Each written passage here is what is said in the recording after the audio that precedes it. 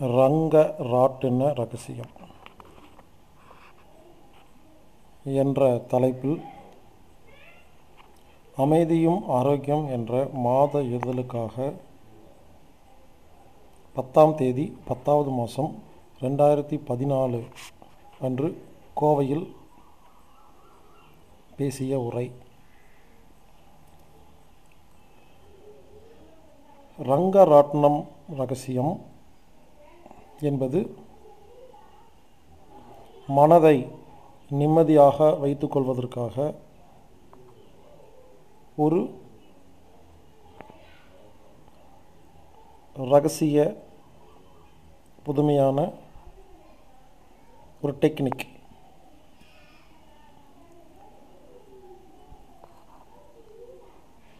உலகத்தில் உள்ள எல்லாருக்கும்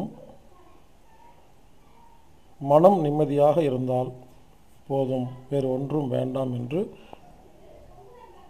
சொல்கிறோம். ஆனால் அந்த மனதை நிம்மதியாக வைத்துக்கொள்வதற்கு வழிமுறைகளில் சரியாக தெரியாமல் நாம் அவஸ்தைப்பட்டு வருகிறோம்.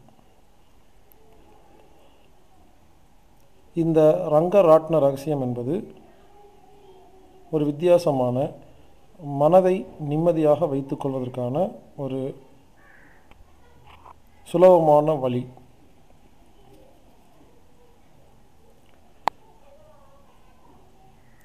இந்த ரங்கராட்ன ரகசியத்தை தெரிந்து கொள்வதால் கோபம் டென்ஷன் பயம் கவலை விரக்தி இது போன்ற நேரங்களில் பொதுவாக நாம் நிம்மதி இல்லாமல் இருப்போம். கஷ்டப்படுவோம். துன்பத்தில் இருப்போம். ஆனால் இந்த ரங்கராட்ன ரகசியம் தெரிந்தவர்கள் அப்படி டென்ஷன் கோபம் பயம் வரும் பொழுது அதை நமக்கு சாதகமாக நிம்மதியாக ஒரே வினாடியில் மாற்றிக்கொள்ள முடியும். இந்த ரங்கராட்ன வித்தையை கற்றுக்கொள்வது மூலமாக எதிரிகளால் துரோகிகளால் மற்றும் மற்றவரால் வரும் மன குழப்பங்களை நமது மனதில் இருக்கும் பலவிதமான குழப்பங்களை பயத்தை கவலையை வெளியேற்றி அந்த இடத்தில் அன்பு அமைதி நிம்மதி சந்தோஷம் ஆரோக்கியம் விடாமுயற்சி போன்ற நல்ல எண்ணங்களை பதிவு செய்ய முடியும்.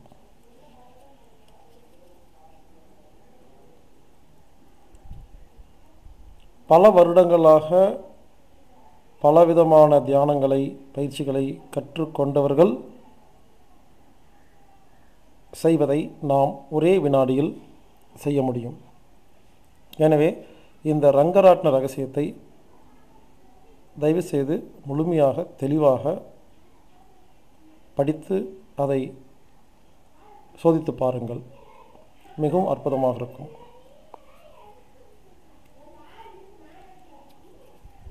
இதுவரை நான் எழுதிய கட்டுரைகளில் எனக்கு இதுதான் ரொம்ப பிடித்தமானதாக இருக்கிறது. ஏனென்றால் இந்த வித்தையை கற்றுக்கொண்ட உடனே ஒரு மனிதன் அடுத்த வினாடி முதல் நிம்மதியாக வாழ்வதற்கு தகுதி பெற்றுவிட்டார் என்ற அர்த்தம்.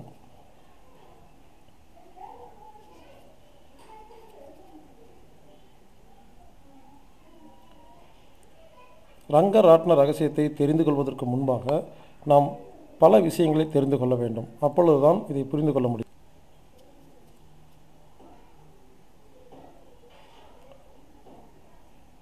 நமது மனம் மூன்று அடுக்குகளை கொண்டது. மேல் மனம் நடுமனம் கீழ்மனம் இதை ஆங்கிலத்தில் conscious mind subconscious mind super conscious mind என்று அழைக்கலாம். மேல்மனம் என்பது ஒரு தற்காலிகமான பதிவுகளை கொண்டது. உதாரணமாக நேற்று மதியம் என்ன சாப்பிட்டோம்? என்று கேட்டால் நம்மால் உடனே கூற முடியும். ஏனென்றால் அந்த விஷயம் மேல்மனதில் பதிவாகியிருக்கிறது. ஒரு வருடத்திற்கு முன்பு ஒரு குறிப்பிட்ட தேதியில் என்ன சாப்பிட்டோம் என்று கேட்டால் நம்மால் சொல்ல முடியவில்லை ஏனென்றால் அது அழிந்துவிட்டது. ஏனென்றால் அது பதிவு ஆன இடம் மேல் மனம். அதே சமயத்தில் நான்கு வருடத்திற்கு முன்னால் நம்மை ஒருவர் அவமானப்படுத்தியிருந்தாலோ அசிங்கப்படுத்தியிருந்தாலோ நம்மளை ஏமாற்றியிருந்தாலோ அந்த விஷயம் இந்த நாள் இந்த கிழமை இத்தனை மணிக்கு இந்த இடத்தில் நடந்தது என்பதை நம்மால் ஞாபகப்படுத்தி கோபப்படுகிறோம் எனவே இந்த கோபம் என்பது ஒரு பதிவு. இது நடுமனதில் உள்ள பதிவு என்பதை புரிந்து கொள்ள வேண்டும். நடுமனதில் உள்ள எல்லா பதிவுகளும் நமது வாழ்க்கைக்கு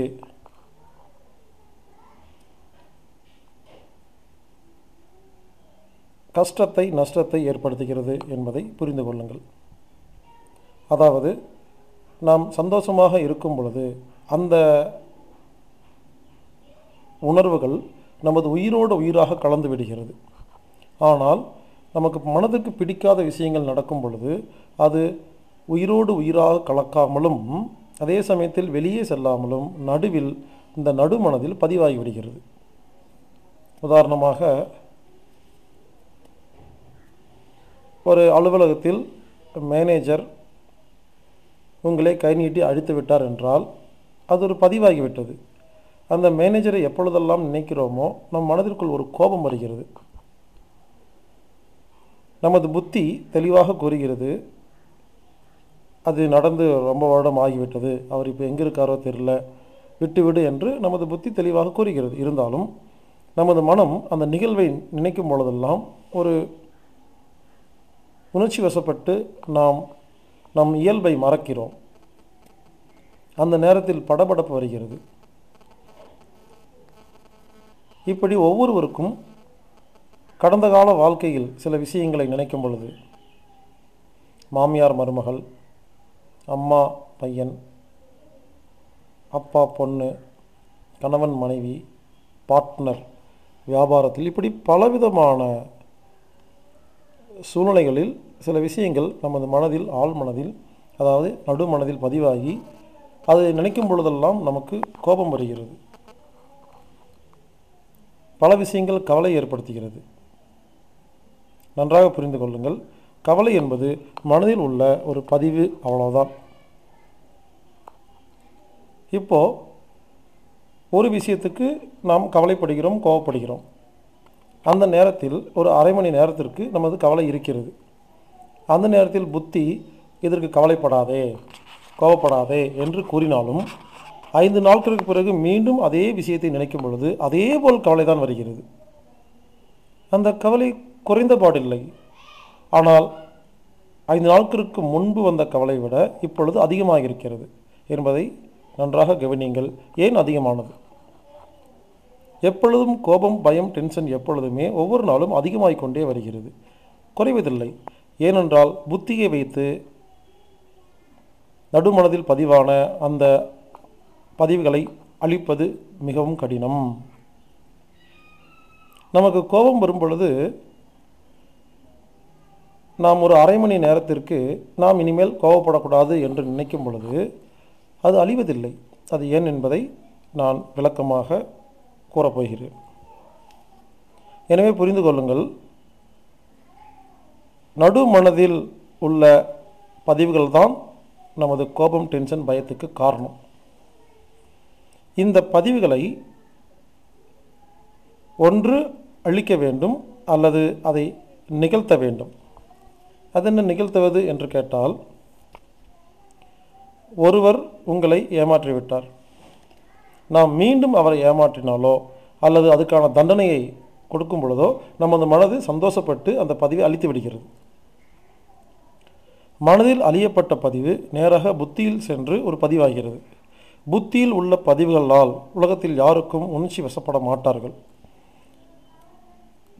ஒரு விஷயம் மனதிலிருந்து புத்திக்கு சென்று விட்டால் அதனால் நமக்கு எந்த ஒரு ஆபத்தும் கிடையாது. ஆனால் கெட்ட பதிவுகள் நடுமனதில் இருக்கும் வரை நமக்கு கண்டிப்பாக அதனால் துன்பங்கள் வரும்.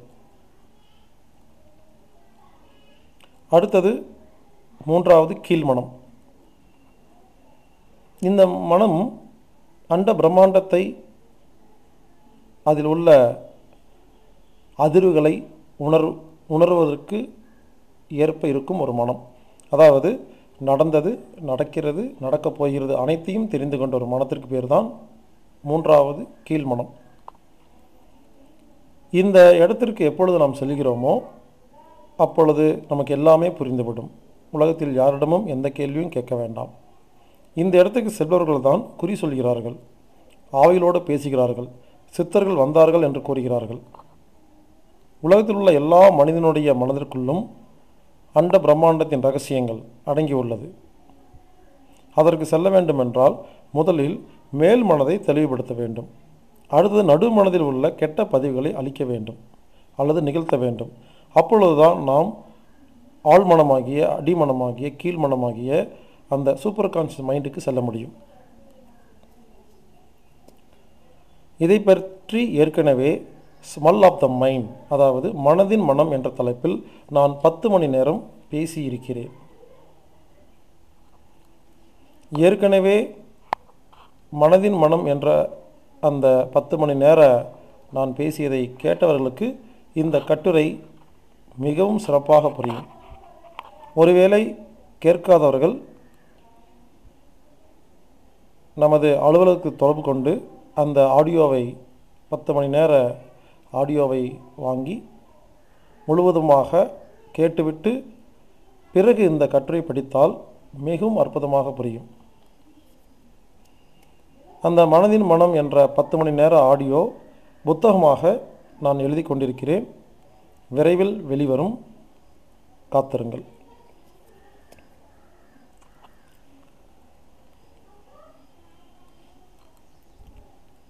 ஒரு மனிதன் நிம்மதியாக வாழ வேண்டுமென்றால் நடுமனதில் உள்ள கோபம் டென்ஷன் பயம் கவலை விரக்தி வஞ்சம் போன்ற பல விஷயங்கள் நமது புத்திக்கு அனுப்ப வேண்டும் அழிக்க வேண்டும் அல்லது நிகழ்த்த வேண்டும். அதாவது முதலில் இந்த கெட்ட பதிவுகள் எப்படி பதிவாகிறது என்று பார்ப்போம். பிறகு எப்படி அதிகரிக்கிறது என்பதை பார்ப்போம். பிறகு அதை எப்படி சுலபமாக ஒரே வினாடியில் அதை அழித்து நாம் நிம்மதியாக வாழ்வது எப்படி என்பதை பார்க்கப் போகிறோம். முதலில் எப்படி பதிவாகிறது என்றால் நாம் உணர்ச்சி வசப்படும் பொழுது மேல் மனதை தாண்டி நடுமனதிற்குள் சென்று விடுகிறோம். உதாரணமாக நடுமனது ஒரு ஒரு லட்சம் அடுக்குகளை கொண்டதாக கற்பனை செய்து கொள்ளுங்கள். நாம் எந்த அளவுக்கு உணர்ச்சி வசப்படுகிறோமோ அந்தளவுக்கு ஆழமாக ஒரு இடத்தில் ஒரு பதிவு ஏற்படுகிறது. எந்த அளவுக்கு ஆழமாக இருக்கிறதோ அந்தளவுக்கு அதனால் நமக்கு துன்பம் அதிகமாகும். அதை அழிப்பதும் சிரமம். எந்த அளவுக்கு மேலே இருக்கிறதோ அதில் துன்பம் குறைவாக இருக்கும் அழிப்பது சுலபம். அதாவது ஒவ்வொரு கெட்ட விஷயம் நடக்கும் பொழுதும் நமது நடுமனதில் ஒரு பதிவு ஏற்படுகிறது. நாம் அதே ஒரு அதேபோல் ஒரு உணர்ச்சி வசப்பட்ட நிலைக்கு நாம் எப்பொழுது மீண்டும் செல்கிறோமோ அப்பொழுது அந்த பதிவுகள் வெளியே வருகிறது நன்றாக புரிந்து கொள்ளுங்கள். ஒரு கரப்பாம்பூச்சியை பார்த்து நாம் பயப்படும் பொழுது ஆள் மனதில் அதாவது நடுமனதில் ஒரு பதிவு ஏற்பட்டுவிட்டால் மீண்டும் அதே கரப்பாம்பூச்சியை பார்க்கும் பொழுது அந்த பதிவு வெளிவரும். அதாவது ஒன்று அந்த கரப்பாம்பூச்சியை பார்க்க வேண்டும் அல்லது அதேபோல் ஒரு உணர்ச்சி வசப்பட்ட நிலைக்கு வரும் பொழுது நமது ஆழ்மனதில் உள்ள கெட்ட பதிவுகள் வெளியே செல்கிறது. நன்றாக புரிந்து கொள்ளுங்கள். நமது ஆழ்மனதில் அதாவது நடுமனதில் உள்ள கெட்ட பதிவுகளை வெளியேற்ற வேண்டுமென்றால் அந்த பதிவு செய்யப்பட்ட ஒரு சூழ்நிலையை அதிர்வை மனநிலையை மீண்டும் உருவாக்கினால் அந்த பதிவு மனதிலிருந்து நேரடியாக புத்திக்கு சென்று பதிவாகிவிடும். இப்பொழுது ஒருவர் மேல் உங்களுக்கு கோபம் இருக்கிறது. அவரை நீங்கள் பழிக்கு பழி வாங்கி நடுத்தருவில் அடித்தால் மட்டுமே நிம்மதி என்று நீங்கள் சொல்வீர்கள். ஆனால் அந்த கோபத்தை அதே மாதிரி ஒரு சூழ்நிலையை அதாவது அந்த கோபம் எப்பொழுது ஏற்பட்டதோ அப்பிருந்த மனோநிலையை மீண்டும் நாம் கொண்டு வரும் பொழுது அந்த கோபம் புத்திக்கு சென்றுவிட்டால் நாம் அவரை பழிக்கு பழி வாங்க தேவையில்லை. அதாவது நாம் ஆள் மனதிற்கு ஒவ்வொரு அடுக்குகளாக நமது மனதை கொண்டு செல்லும் பொழுது ஒவ்வொரு அடுக்கில் உள்ள கோபம் பயம் டென்ஷன் போன்ற கெட்ட விஷயங்கள் நம்மை விட்டு வெளியே வருகிறது. இப்படி மொத்த பதிவுகளையும் அழித்துவிட்டால் நாம் இனி நிம்மதியாக வாழலாம். இனிமேல் அதே விஷயத்தை நினைக்கும் பொழுது அது ஒரு கடந்த கால ஒரு நிகழ்வாக மட்டுமே பேசும் வாய் மட்டுமே பேசுமே தவிர உணர்ச்சி வசப்பட மாட்டோம் ஏற்கனவே நடந்த ஒரு விஷயத்தை பேசும் பொழுது உணர்ச்சி வசப்படுகிறோம் என்றால் அது மனதில் தங்கி இருக்கிறது ஏற்கனவே நடந்த ஒரு விஷயத்தை பற்றி பேசும் பொழுது உணர்ச்சி வசப்படாமல் சாதாரணமாக பேசினால் அது புத்தியில் பதிவாகியிருக்கிறது. எனவே நடுமனதில் உள்ள எல்லா கெட்ட விஷயங்களுக்கு உண்டான பதிவுகளை நாம் புத்திக்கு மாற்றுவதன் மூலமாக நாம் நிம்மதியாக அமைதியாக சந்தோஷமாக வாழ முடியும். அடுத்தது இந்த பதிவுகள் ஏன் அதிகரித்து கொண்டே செல்கிறது இன்று இருக்கும் கோபத்தை விட அடுத்த வருடம் நமக்கு கோபம் அதிகமாகிறது. இன்று இருக்கும் பயத்தை விட இரண்டு வருடங்களுக்கு பிறகு நமது பயம் அதிகமாகிறது. நாட்கள் செல்ல செல்ல நமக்கு பயம் குறைந்தால் அழிந்து கொண்டு வருகிறது என்ற அர்த்தம். நாட்கள் செல்ல செல்ல பயமோ கோபமோ அதிகரித்தால் அதை நாம் பெரிதுபடுத்துகிறோம் என்ற அர்த்தம். ஏன் பெரிது ஆகிறது என்பதை நாம் இப்பொழுது தெளிவாக பார்ப்போம். உதாரணமாக உங்களுக்கு ஒரு விஷயத்தை நினைக்கும் பொழுது கோபம் வந்துவிட்டது. உடனே ஒரு அரை மணி நேரத்திற்கு நாம் உணர்ச்சி வசப்பட்ட ஒரு நிலையில் இருக்கிறோம். நமக்கே நன்றாக தெரியும். நாம் கோபப்பட்டு விடுவோம். உடனே யாராவது வரும்பொழுது நாம் என்ன சொல்வோம்? நீங்கள் சென்றுவிட்டு ஒரு அரை மணி நேரம் கழித்து வாருங்கள். நான் கொஞ்சம் மனசு சரியில்லை போயிட்டு வாங்க ஏன்னா நாமளே முடிவு பண்ணிக்கிறோம். இன்னொரு அரை மணி நேரத்துக்கு நாம் மனசு ஒழுங்காக இல்லை எந்த வேலையும் பண்ண முடியாதுன்னு சொல்லி நாம் உடனே ஓய்வு எடுக்க ஆரம்பிக்கிறோம். நன்றாக நன்றாக புரிந்து கொள்ளுங்கள். நமக்கு ஒரு கோபம் டென்ஷன் பயம் வரும் பொழுது ஒரே ஒரு வினாடி மட்டும்தான் வருகிறது.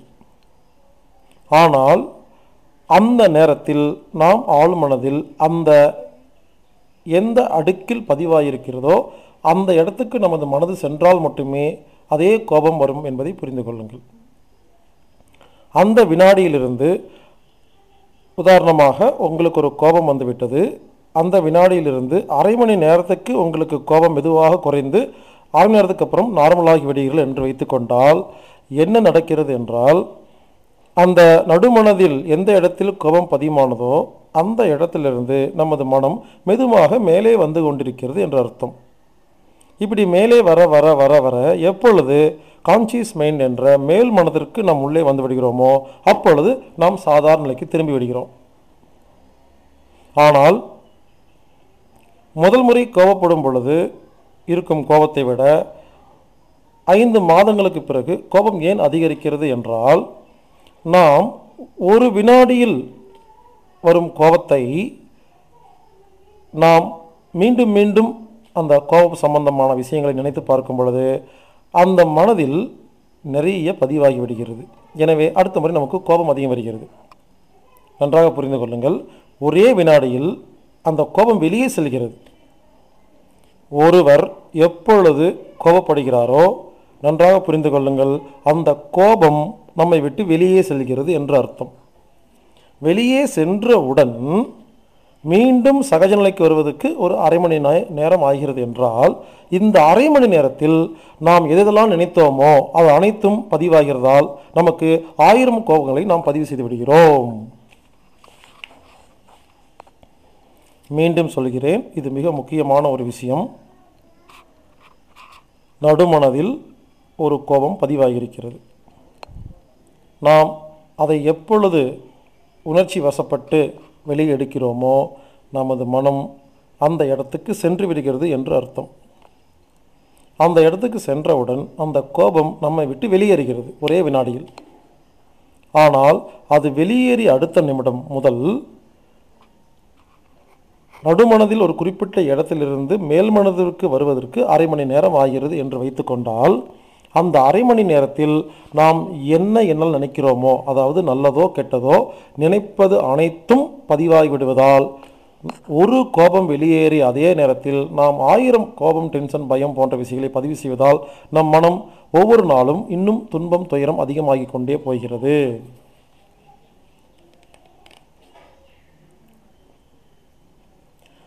எனவே இந்த ஒரு விஷயத்தை மட்டும் நன்றாக புரிந்து கொண்டால் நாம் இனி நமது கோபத்தை குறைக்கலாம் ஆனால் அதிகப்படுத்த வேண்டாம்.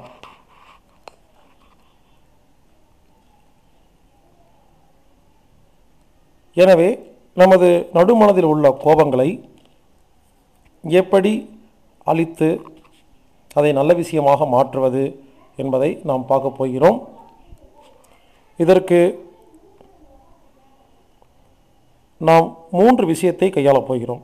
மூன்று விதமான டெக்னிக்களை நாம் பயன்படுத்தப் போகிறோம். ஒன்று சீக்ரெட் அதாவது ரகசியம். அதாவது எண்ணம் போல் வாழ்க்கை. இரண்டு விபாசனா மெடிடேஷன் மூன்றாவது ரங்கராட்ன ரகசியம். நாம் ரங்கராட்ன ரகசியத்தை பயன்படுத்தி நடுமனதில் உள்ள கெட்ட விஷயங்களை அப்புறப்படுத்த வேண்டுமென்றால் மூன்று படிகளில் செய்ய வேண்டும். முதலில் ரகசியம் என்றால் என்ன என்பதை முழுவதுமாக கற்றுக்கொள்ள வேண்டும். அடுத்தது விபாசனா தியானத்திற்கு சென்று வர வேண்டும். மூன்றாவதாக ரங்கராட்ன ரகசியத்தை நாம் வாழ்க்கையில் இனி சேர்த்து கொள்ள வேண்டும். இப்படி செய்துவிட்டால் இதுவரை இருந்த அனைத்து டென்ஷன் கோபம் பயம் போன்ற கெட்ட விஷயங்கள் மனதை விட்டு வெளியே சென்றுவிடும். இனிமேல் பதிவே ஆகாது. ஒருவேளை யாராவது நம்மை டென்ஷன் கோபம் பயத்தை ஏற்படுத்தினாலும் நாம் சந்தோஷப்படுவோம். ஏனென்றால் கோபத்தை சந்தோஷமாக மாற்றுவது எப்படி? டென்ஷனை நிம்மதியாக மாற்றுவது எப்படி என்பதுதான் இந்த ரங்கராட்ன ரகசியத்தின் முக்கியமான ஒரு கொள்கை. எனவே நான் இந்த மூன்று விஷயத்தை பற்றி இப்பொழுது தெளிவாக கூறியிருக்கிறேன்.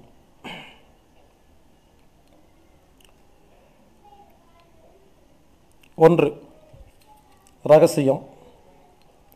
அதாவது சீக்ரெட் அதாவது எண்ணம் போல் வாழ்க்கை.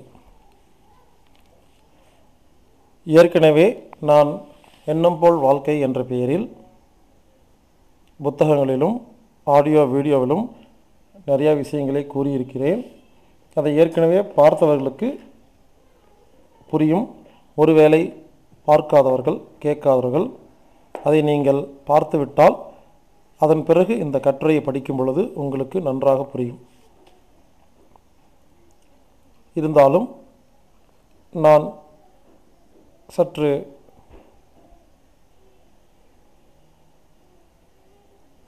அதை பற்றி கொஞ்சம் விளக்கமாக கூறுகிறேன். அதாவது நாம் எது நினைக்கிறோமோ அது நடக்கும். உதாரணமாக வார்த்தைகள் நல்ல வார்த்தை நல்லது அல்லாத வார்த்தை என்று இரண்டாக பிரிக்கலாம். உதாரணமாக குறை ஒன்றும் இல்லை மறைமூர்த்தி கண்ணா என்ற பாடலை எல்லோரும் கேட்டிருப்பீர்கள். இந்த பாடலை யாரெல்லாம் பாடுகிறீர்களோ உங்களுக்கு எல்லா குறையும் வரும். ஏனென்றால் குறை என்ற வார்த்தை உச்சரிக்கும் பொழுது அந்த அதிர்வு நமது வாழ்க்கையில் குறையை நாம் வ- எதிர்பார்க்கிறோம் என்று அர்த்தம். எனவே நிறை மட்டுமே உள்ளது மறைமூர்த்தி கண்ணா என்று பாட்டை மாற்றி அமைத்தால் இது நல்ல வார்த்தை.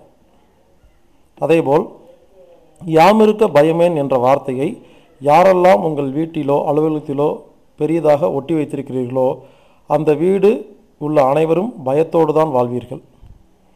ஏனென்றால் பயம் என்ற வாட்சி வார்த்தை உச்சரிக்கும் பொழுது அந்த அதிர்வு நமது ஆழ்மனதில் பதிவாகி நமக்கு பயத்தை ஏற்படுத்துகிறது. எனவே யாம் இருக்க தைரியமே என்று மாற்ற வேண்டும். அதேபோல் எஸ்எம்எஸ் அனுப்பும் பொழுது I miss you I miss you என்று யாரெல்லாம் அனுப்புகிறீர்களோ அவர் உங்களை மிஸ் செய்து விடுவார். அதனால் எம் என்ற இடத்தில் கே என்று மாற்றினால் நமக்கு என்ன வேணுமோ அது கிடைக்கும். இதுபோல் ஒரே வார்த்தையை நாம் இரண்டு விதமாக இரண்டு விதமான முறையில் பயன்படுத்த முடியும். நீ நன்றாக இருக்க மாட்டாய் என்று யாரையாவது திட்டினால் அவர்கள் நன்றாக இருப்பார்கள். நீ நாசமாக போவாய் என்று திட்டினால் அவர்கள் நாசமாக போவார்கள். நீ நாசமாக போகக்கூடாது என்று கூறினால் அவர் நாசமாக போவார்கள். அதாவது நாம் எதை பற்றி பேசுகிறோமோ அது மட்டும்தான் நடக்கும். உதாரணமாக என் மனதில் நிறையா குழப்பங்கள் இருக்கிறது. எப்படி சரி செய்வதென்றே தெரியவில்லை என்று ஒருவர் கூறிக்கொண்டே இருந்தால் அவர் மனதில் குழப்பங்கள் அதிகமாகும். ஏனென்றால் குழப்பம் என்ற வார்த்தையை திரும்ப திரும்ப பயன்படுத்துகிறார். அதற்கு பொதுவாக நான் நிம்மதியாகவே இல்லை எனக்கு நிம்மதியே இல்லை என்று திரும்ப திரும்ப கூறுங்கள். உங்களுக்கு நிம்மதி வந்துவிடும். என் தொழில் நஷ்டமாகிறது. நான் நஷ்டமில்லாமல் வியாபாரம் செய்வதற்கு என்ன செய்ய வேண்டும் என்று திரும்ப திரும்ப யார் யோசிக்கிறீர்களோ பேசுகிறீர்களோ உங்களுக்கு தொழில் நஷ்டம் மட்டுமே வரும். ஏனால் நஷ்டம் என்ற வார்த்தையை பயன்படுத்துகிறோம். எனவே எனக்கு லாபம் குறைவாக இருக்கிறது. எனக்கு லாபம் பத்தவில்லை. லாபத்தை அதிகரிக்க என்ன செய்ய வேண்டும் என்று திரும்ப திரும்ப நாம் நினைக்கும் பொழுது சொல்லும் பொழுதும் நமக்கு லாபம் கிடைக்கும். தயவுசெய்து புரிஞ்சு கொள்ளுங்கள் நாம் நமக்கு எது வேணுமோ அதை பற்றி மட்டும்தான் பேசணும். அப்போது நமது நடு மனதிற்கு நாம் எதை சொல்கிறோமோ அதை செய்யும். உதாரணமாக யாரெல்லாம் எனக்கு சர்க்கரை வியாதி இருக்கிறது இதை எப்படி சரி பண்ண வேண்டும் என்று திரும்ப திரும்ப நினைக்கிறீர்களோ அது ஒருவேளை நடுமனதில் பதிவாகிவிட்டால் நமது உடம்பை அது சர்க்கரை நோயாளியாக மாற்றிவிடும். எனவே நோய் என்ற வார்த்தையை பயன்படுத்தாமல் சர்க்கரை வியாதி என்ற வியாதியை பயன்படுத்தாமல் நான் ஆரோக்கியம் குறைவாக இருக்கிறது. என் ஆரோக்கியத்திற்கு என்ன செய்ய வேண்டும் என்று திரும்ப திரும்ப யோசிக்கும் பொழுது ஆரோக்கியம் என்ற வார்த்தை நடுமனதால் இந்த நடுமனம் நமது உடம்பில் உள்ள எல்லா செல்களுக்குள்ளும் சென்று ஆரோக்கியத்தை உண்டு செய்கிறது. தயவுசெய்து புரிந்து கொள்ளுங்கள். சுத்தம் என்ற வார்த்தை நல்லது. அழுக்கு என்பது கெட்டது. ஆனால் அசுத்தம் என்று கூறலாம். அஸ் அழுக்கு என்ற வார்த்தைக்கு பதிலாக அசுத்தம் என்று பயன்படுத்தலாம். அதே மாதிரி கெட்ட நேரம் என்ற வார்த்தைக்கு பதிலாக அபசகுணம் என்று பயன்படுத்தலாம்.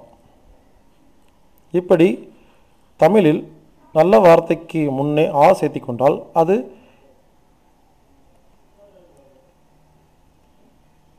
நல்ல வார்த்தைக்கு எதிராக இருப்பது ஏற்கனவே நமது முன்னோர்கள் அதை கண்டுபிடித்து அதற்போல் பேசியிருக்கிறார்கள். உதாரணமாக என் மனதில் உள்ள குப்பைகள் வெளியேற வேண்டும் என்று யாரெல்லாம் நினைக்கிறீர்களோ குப்பை அதிகமாகும். ஏனென்றால் குப்பை என்ற வார்த்தையை பயன்படுத்துகிறீர்கள். அதற்கு பதிலாக என் மனதில் மனதில் உள்ள தூய்மைக்கு எதிரான விஷயங்கள் வெளியே செல்ல வேண்டும் என்று திரும்ப திரும்ப சொல்லும் பொழுது தூய்மையாக்கப்படுகிறது. எனது புத்தி குழப்பமாக இருக்கிறது என்று திரும்ப திரும்ப கூறினால் குழப்பம் அதிகரிக்கிறது. ஏனென்றால் குழப்பம் என்ற வார்த்தை மனதில் பதிவாகி நம்மை குழம்ப வைக்கிறது. அதற்கு பதிலாக நான் தெளிவாக இல்லை என்ற வார்த்தை பயன்படுத்தலாம். இப்படி நிறைய வார்த்தைகள் இருக்கிறது. யார் புரிந்து கொள்கிறீர்களோ நான் திரும்ப திரும்ப சொல்ல வேண்டிய அவசியமில்லை நீங்களே புரிந்து கொள்வீர்கள். இனிமேல் நாம் பேசும் ஒவ்வொரு வார்த்தையும் எழுதி பார்த்து அதில் நல்லது கெட்டது என்று பிரித்து இனிமேல் நல்ல விஷயங்களை நல்ல விதம் நல்ல விதமாக மட்டுமே பேச வேண்டும் என்பதுதான் ரகசியம் என்ற சீக்ரெட்டின் சுருக்கமான விஷயம்.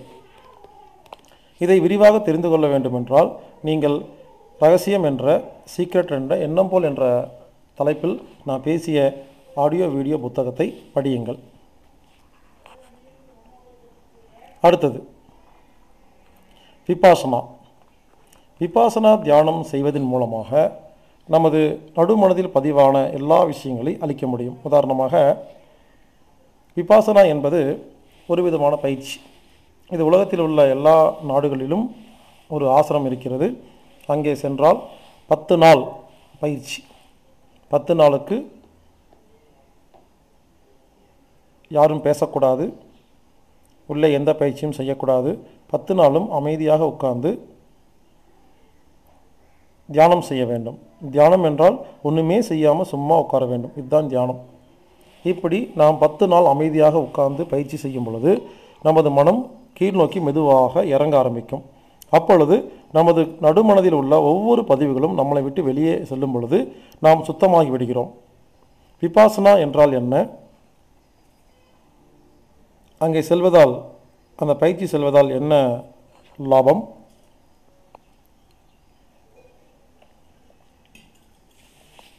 இதை பற்றி நான் ஏற்கனவே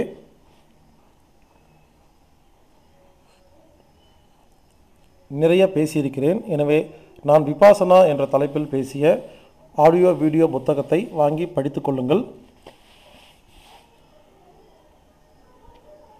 பலரும் யோசிக்கலாம். உங்களது கட்டுரையில் அடிக்கடி ஏற்கனவே பேசியிருக்கிறேன். பார்த்துக்கொள்ளுங்கள் கொள்ளுங்கள் கூறுகிறீர்களே. புதிதாக படிப்பவர்களுக்கு இது ஒரு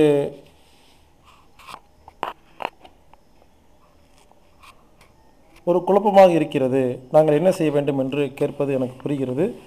அதாவது ஒவ்வொரு விஷயத்துக்கும் இன்னொரு விஷயத்துக்கும் தொடர்பு உள்ளது. நாம் ஒரு விஷயத்தை கூறும் பொழுது இன்னொரு விஷயம் தெரிந்திருந்தால் மட்டுமே இந்த விஷயத்தை நாம் தெளிவுபடுத்த முடியும். ஒவ்வொரு கற்றலிலும் ஒவ்வொரு விஷயத்தை பற்றியும் நான் விளக்கமாக பெரிதாக கூற முடியாது. எனவே விபாசனா மெடிடேஷன் என்றால் என்ன என்றால் பத்து நாள் ஒரு இடத்துக்கு சென்றீர்கள் என்றால் அங்கு அமைதியாக உட்கார்ந்து மௌனமாக கண்ணை மூடி தியானம் செய்யும் பொழுது நமது ஆள் மனதில் உள்ள பதிவுகள் அளிக்கப்படுகிறது. ஆனால் இப்படி முதல் முறை ஒருவர் விபாசனா பயிற்சிக்கு சென்று பத்து நாள் எல்லாத்தையும் அழித்துவிட்டு வெளியே வந்தால் மீண்டும் நமது வாழ்க்கையில் நடக்கும் பல விஷயங்கள் டென்ஷன் கோபம் பயங்க மீண்டும் பதிவாகிறது. இப்படி நாம் குறைந்தது வருடத்திற்கு ஒரு முறை அந்த இடத்துக்கு சென்று அளித்தால்தான் நாம் நிம்மதியாக வாழ முடியும். எனவே ரங்கராட்ன ரகசியத்தை தெரிந்து கொள்வதற்கு முன்பாக சீக்ரெட் என்ற ரகசியத்தை முழுவதுமாக தெரிந்து கொண்டு நல்ல வார்த்தை நல்லதுக்கு எதிரான வார்த்தை என்ற இரண்டு வார்த்தைகளை கற்றுக்கொள்ளுங்கள். இரண்டாவது விபாசனா தியானத்திற்கு ஒரு முறையாவது தயவு செய்து சென்று வாருங்கள். ஏற்கனவே ரங்கராட்ன ரகசியம் தெரியாததற்கு முன்னால் விபாசனா சென்று வந்தவர்கள் இந்த ரங்கராட்ன ரகசியம் தெரிந்து கொண்ட பிறகு மீண்டும் ஒரு முறை விபாசனா சென்று வந்தால் அது ஆயிரம் முறை விபாசனா சென்று வந்ததுக்கு சமம். என்பதை இந்த கட்டுரை முடியும் பொழுது நீங்களே புரிந்து கொள்வீர்கள்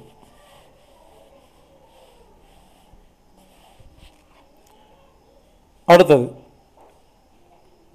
நாம் எப்பொழுதெல்லாம் இந்த நடுமனதாகிய சப்கான்சியஸ் மைண்டிற்குள் உள்ளே நுழைகிறோம் என்பதை பார்க்கலாம். அதாவது காலை எழுந்தது முதல் மீண்டும் நாள் அடுத்த நாள் காலை எழுவது வரை ஒரு நாளில் இருபத்தி நாலு மணி நேரத்தில் எப்பொழுதெல்லாம் நாம் சப்கான்சியஸ் மைண்ட் என்ற நடுமனதிற்கு செல்கிறோம்? எந்தெந்த விஷயங்கள் நடக்கும்போது ஆழமாக செல்கிறோம்? என்பதை முதலில் கண்டுபிடிக்க வேண்டும். பிறகு அந்த இடத்துக்கு செல்லும் பொழுதெல்லாம் நாம் நல்ல விஷயங்களை பதிவு செய்ய வேண்டும். ஏற்கனவே நடுமனதில் ஆயிரம் கெட்ட விஷயங்கள் பதிவாகியிருக்கிற ஒருவர் கோபமாக டென்ஷனாக பயமாகத்தான் இருப்பார். இப்பொழுது நாம் என்ன செய்கிறோம் என்றால் எப்பொழுதெல்லாம் அந்த நடுமனதிற்குள் நாம் செல்கிறோமோ அப்பொழுதெல்லாம் நாம் தினமும் ஆயிரம் நல்ல விஷயங்களை பதிவு செய்வதன் மூலமாக ஒரே மாதத்தில் பல லட்சம் நல்ல விஷயத்தை பதிவு செய்து கெட்ட விஷயத்தை குறைத்து விடும் பொழுது நாம் நிம்மதியாக அமைதியாக சந்தோஷமாக ஆரோக்கியமாக அன்பு மிகுந்த ஒரு மனிதனாக மாறி மாறிவிடுவோம்.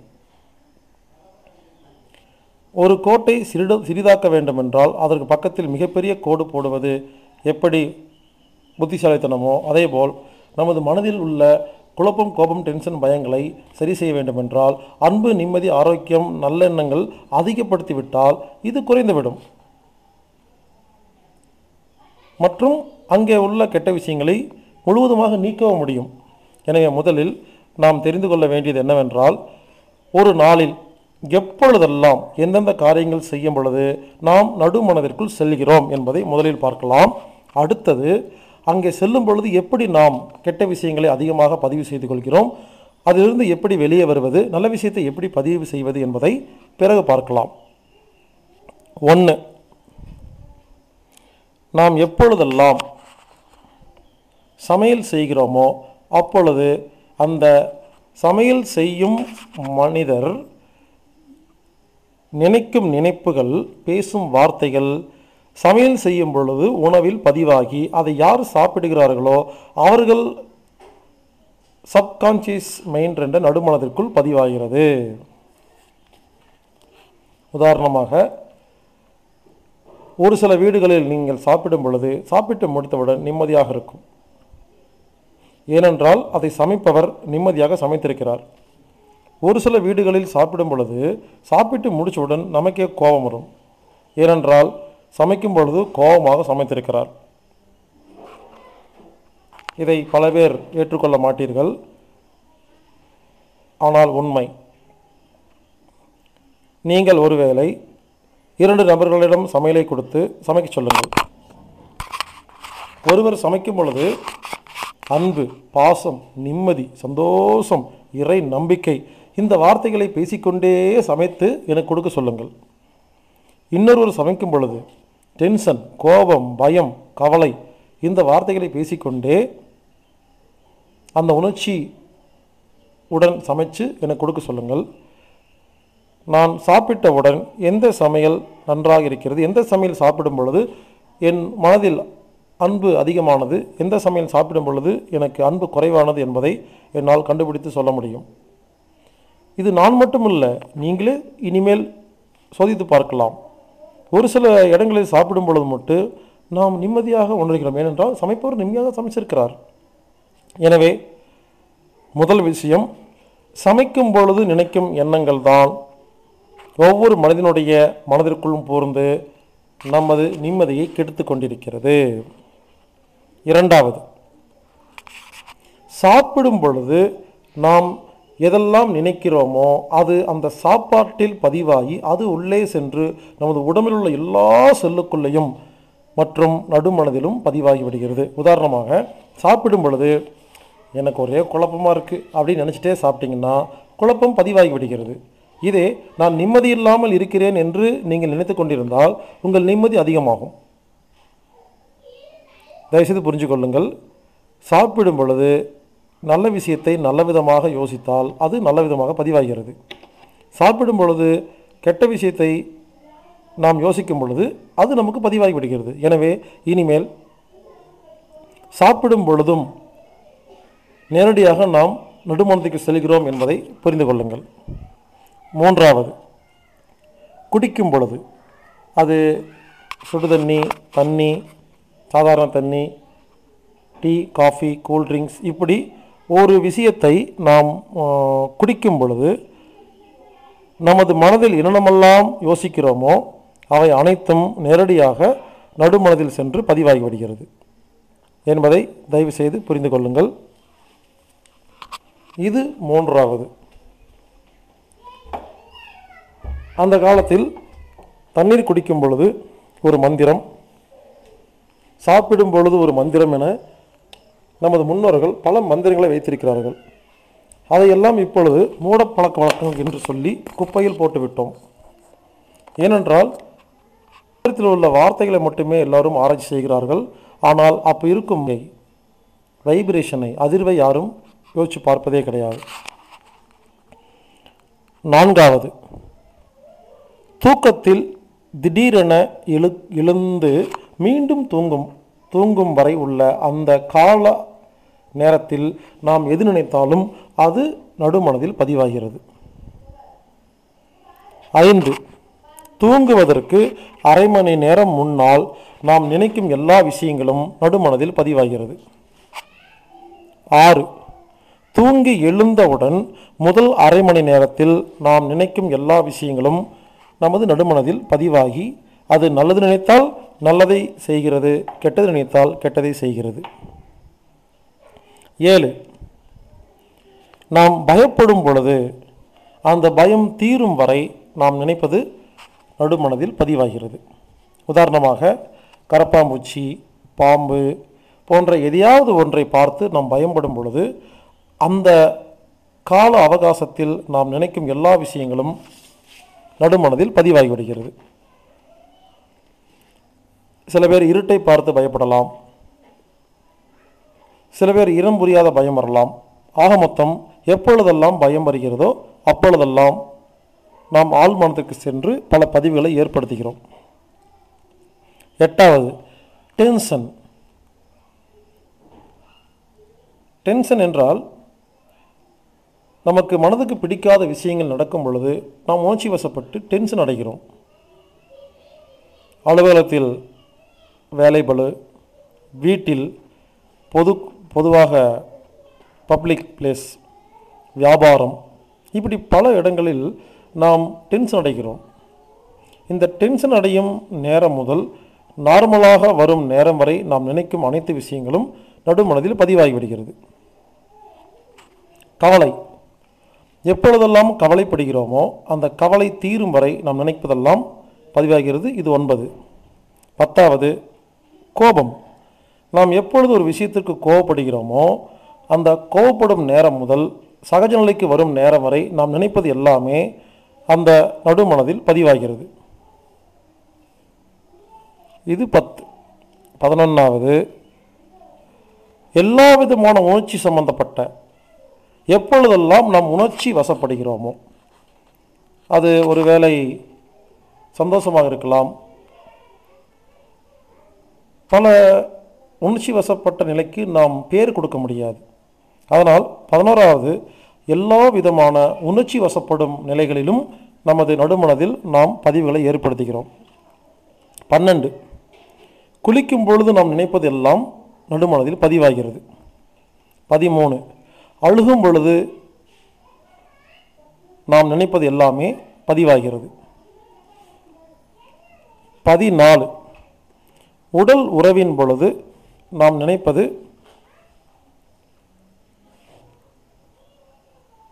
ஒரு பாதி விஷயங்கள் பதிவாகிறது. உடலுறவின் உச்சகட்டத்தில் நாம் எது நினைத்தாலும் மிகவும் ஆழமாக பதிவாகிறது. பதினாறு. பேய் படங்கள் திகில் படங்கள் போன்ற படங்களை பார்க்கும் பொழுது திடீரென நாம் பயப்படும் பொழுதோ உணர்ச்சி வசப்படும் பொழுதோ அப்பொழுது நமக்கு ஆழ்மனதில் பல பதிவுகள் ஏற்படுகிறது. இப்படி இதுவரை நான் சொன்னது எனது அனுபவத்தில் இந்த வயசுக்கு நான் புரிந்து கொண்ட விஷயத்தை கூறியிருக்கிறேன். இப்படி பல நேரங்களில் நாம் நம்மளை அறியாமல் நமது ஆழ்மனதிற்குள் செல்கிறோம். அங்கு பல பதிவுகளை ஏற்படுத்துகிறோம். இந்த பதிவுகள் தான் நமது வாழ்க்கையில் நாம் நிம்மதிக்கு பங்கம் விளைவிக்கும் நிகழ்ச்சிகளாக இருக்கிறது. சரி. இப்பொழுது நாம் ஆள் மனதில் உள்ள கெட்ட பதிவுகள் எப்படி அதிகரிக்கிறது என்பதை தெளிவாக பார்க்கலாம். நாம் இது நான் இதுவரை கூறிய சாப்பிடும் பொழுது தண்ணி குடிக்கும் பொழுது தூங்கு போது போன்ற பதினாறு விஷயங்களில் இந்த பதினாறு நிகழ்ச்சி நடக்கும் பொழுதும் நாம் சகஜநிலைக்கு வரும் வரைக்கும் நாம் நினைக்கும் எல்லா விஷயங்களும் நமது ஆழ்மனதில் பதிவாகி நம்மளை மேலும் கோபக்காரராக மேலும் கவலைக்காரராக மாற்றிவிடுகிறது என்பதை புரிந்து கொள்ள வேண்டும். ஏன் இது இதை இவ்வளவு மெதுவாக தெளிவாக கூறுகிறேன் என்றால் ரகசியம் என்ற எண்ணம் போல் வாழ்க்கை என்ற விஷயத்தை யார் புரிந்து கொள்கிறீர்களோ இனிமேல் நாம் கோபப்பட்டவுடன் கோபம் என்ற வார்த்தையை பயன்படுத்தாமல் தெளிவு நிம்மதி என்ற வார்த்தையை பயன்படுத்தும் பொழுது இந்த நல்ல விஷயங்கள் பதிவாகி ஒரே ஒரு கோபம் நம்மை விட்டு வெளியே போகும் பொழுது ஆயிரம் நல்ல விஷயத்தை பதிவு செய்வதன் மூலமாக நாம் மிகவும் பலசாலியாக மிகவும் சந்தோஷசாலியாக மிகவும் ஆரோக்கியசாலியாக மாற முடியும். அதாவது சாதாரண நிலையில் சாதாரண மனநிலையில் நான் நிம்மதியாக இருக்கிறேன் நான் நிம்மதியாக இருக்கிறேன் என்று நீங்கள் ஆயிரம் முறை ஒரு லட்சம் முறை சொல்வதால் எந்த பிரயோஜனமும் கிடையாது. அது நடுமனதில் பதிவானால் மட்டுமே நமக்கு பிரயோஜனம் என்பதை தயவுசெய்து புரிந்து கொள்ளுங்கள். சாதாரண மனநிலையில் நாம் நான் ஆரோக்கியமாக இருக்கிறேன் என்று சொல்வதால் அது உள்ளே சென்று பதிவாவது கிடையாது. ஆனால் நடுமனதில் செல்லும் அந்த நேரத்தில் ஒரே ஒரு முறை பதிவு செய்தால் ஒரு கோடி முறை பதிவு செய்வதற்கு சமம். நம்மளை நாமே ஏமாற்ற முடியும்.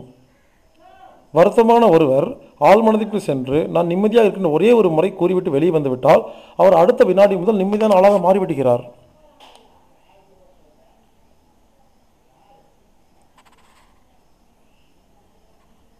எனவே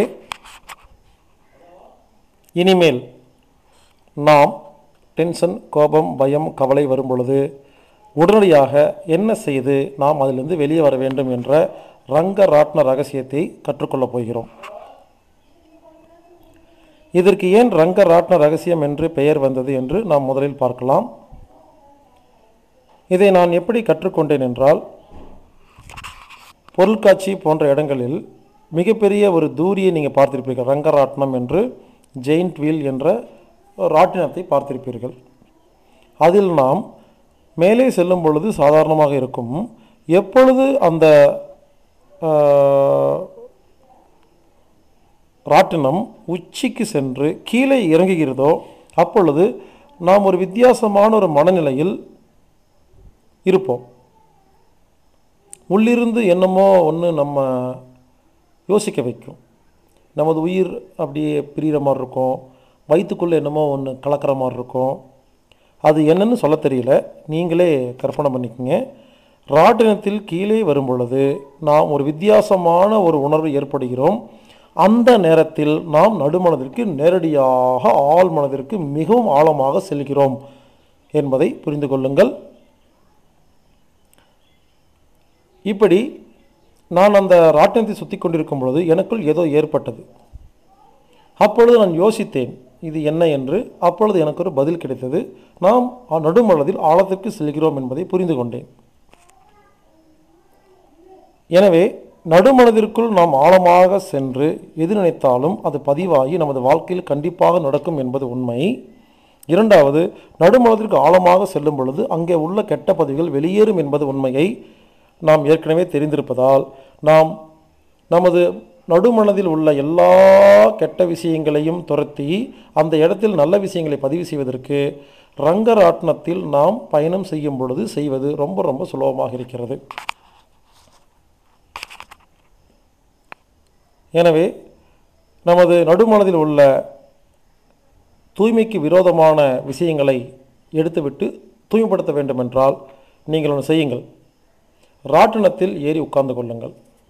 எப்பொழுதெல்லாம் ராட்டினம் கீழே வருகிறதோ அப்பொழுது அ- ஒரு வித்தியாசமான உணர்வு ஏற்படும் பொழுது நாம் நடுமனதில் ஆழமாக சென்று விட்டோம் என்று புரிந்து கொண்டு அந்த அந்த ஒரு ஒரு நிமிடத்தில் நமக்கு தேவையான எல்லா நல்ல விஷயங்களையும் பதிவு செய்யுங்கள். உதாரணமாக நான் ஆரோக்கியமாக இருக்கிறேன். நான் நிம்மதியாக இருக்கிறேன். நான் புத்திசாலி. நான் பலசாலி. என் குடும்பத்தில் அனைவரும் நிம்மதியாக இருக்கிறார்கள். இப்படி என் தொழிலை நான் சிறப்பாக செய்கிறேன் என்று என்னென்னமெல்லாம் வேணுமோ எல்லாத்தையும் நாம் நினைக்கும் பொழுது அது பதிவாகி அது நமது வாழ்க்கையில் கண்டிப்பாக நடத்தி கொடுக்கிறது.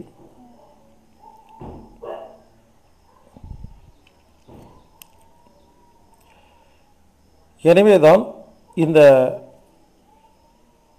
பயிற்சிக்கு ரங்கராட்ன ரகசியம் என்று பெயர் வைத்துள்ளோம். ஆனால் உடனே அப்பொழுது இந்த பயிற்சியை செய்ய வேண்டுமென்றால் ரங்கராட்டத்தை சுத்த வேண்டுமா நினைத்துக் கொள்ளாதீர்கள். இது ஒரு ஒரு வழி அவ்வளோதான் இதை பயன்படுத்தி நாம் ரங்கராட்டனத்தில் சுத்தாமலேயே உட்கார்ந்த இடத்தில் நாம் அந்த இடத்துக்கு செல்ல முடியும் அந்த இடத்தில் உள்ள பதிவுகளை நீக்க முடியும் என்பதுதான் இன்னும் ஒரு அதிசயமான உண்மை. அதை பற்றி நாம் இப்பொழுது தெளிவாக பார்க்க இருக்கிறோம்.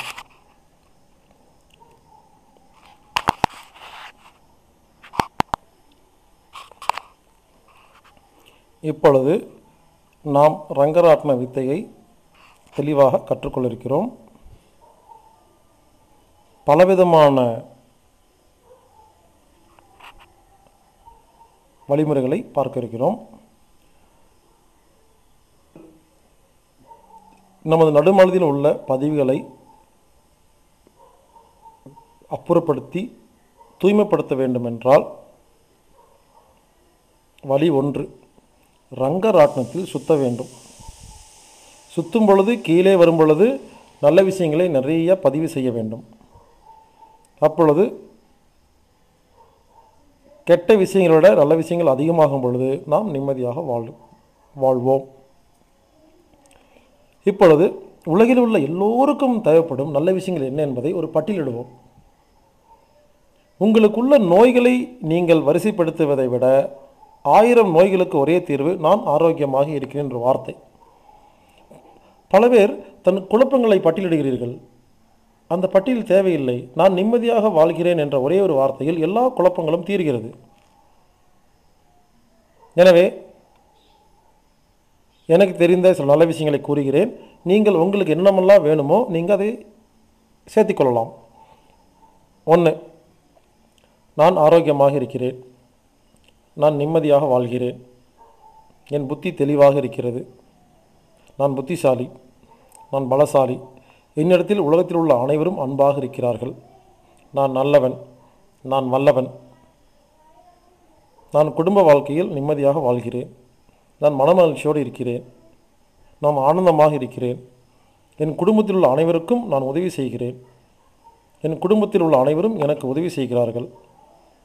நான் என் குடும்பம் எனது நண்பர்கள் என் தொழில் சார்ந்த நண்பர்கள் மற்றும் அனைவரும் என்னிடத்தில் அன்பாக இருக்கிறார்கள். எனக்கு நல்ல பெயர் மட்டுமே கிடைக்கிறது. எனக்கு தேவையான பொருளாதாரம் அபரிமிதமாக கிடைக்கிறது. எனது வாழ்க்கையில் லட்சியங்கள் எல்லாம் விரைவில் நிறைவேறுகிறது. நான் நிம்மதியாக வாழ்கிறேன். இப்படி உங்களுக்கு என்ன நல்லா வேணுமோ அதை நல்ல விஷயத்தை நல்ல மாதிரி மட்டுமே யோசிக்க வேண்டும். தயவுசெய்து புரிந்து கொள்ளுங்கள். நான் மேலே குறிப்பிட்ட எல்லா விஷயமும் நல்ல விஷயம் நல்ல மதமாக கூறியிருக்கிறேன். நீங்கள் நினைக்கும் பொழுது எனக்கு நஷ்டம் வரக்கூடாது. அப்படி நினைத்தால் நஷ்டம் வந்துவிடும். என் குடும்பத்தில் குழப்பம் இல்லாமல் இருக்கிறது நினைத்தால் குழப்பம் வந்துவிடும் என்பதை தயவுசெய்து மீண்டும் புரிந்து கொள்ளுங்கள். எனவே நல்ல வார்த்தைகளை முதலில் ஒரு பேப்பரில் எழுதி அதை திரும்ப திரும்ப சொல்லி நீங்கள் மனப்பாடம் செய்து கொள்ளுங்கள்.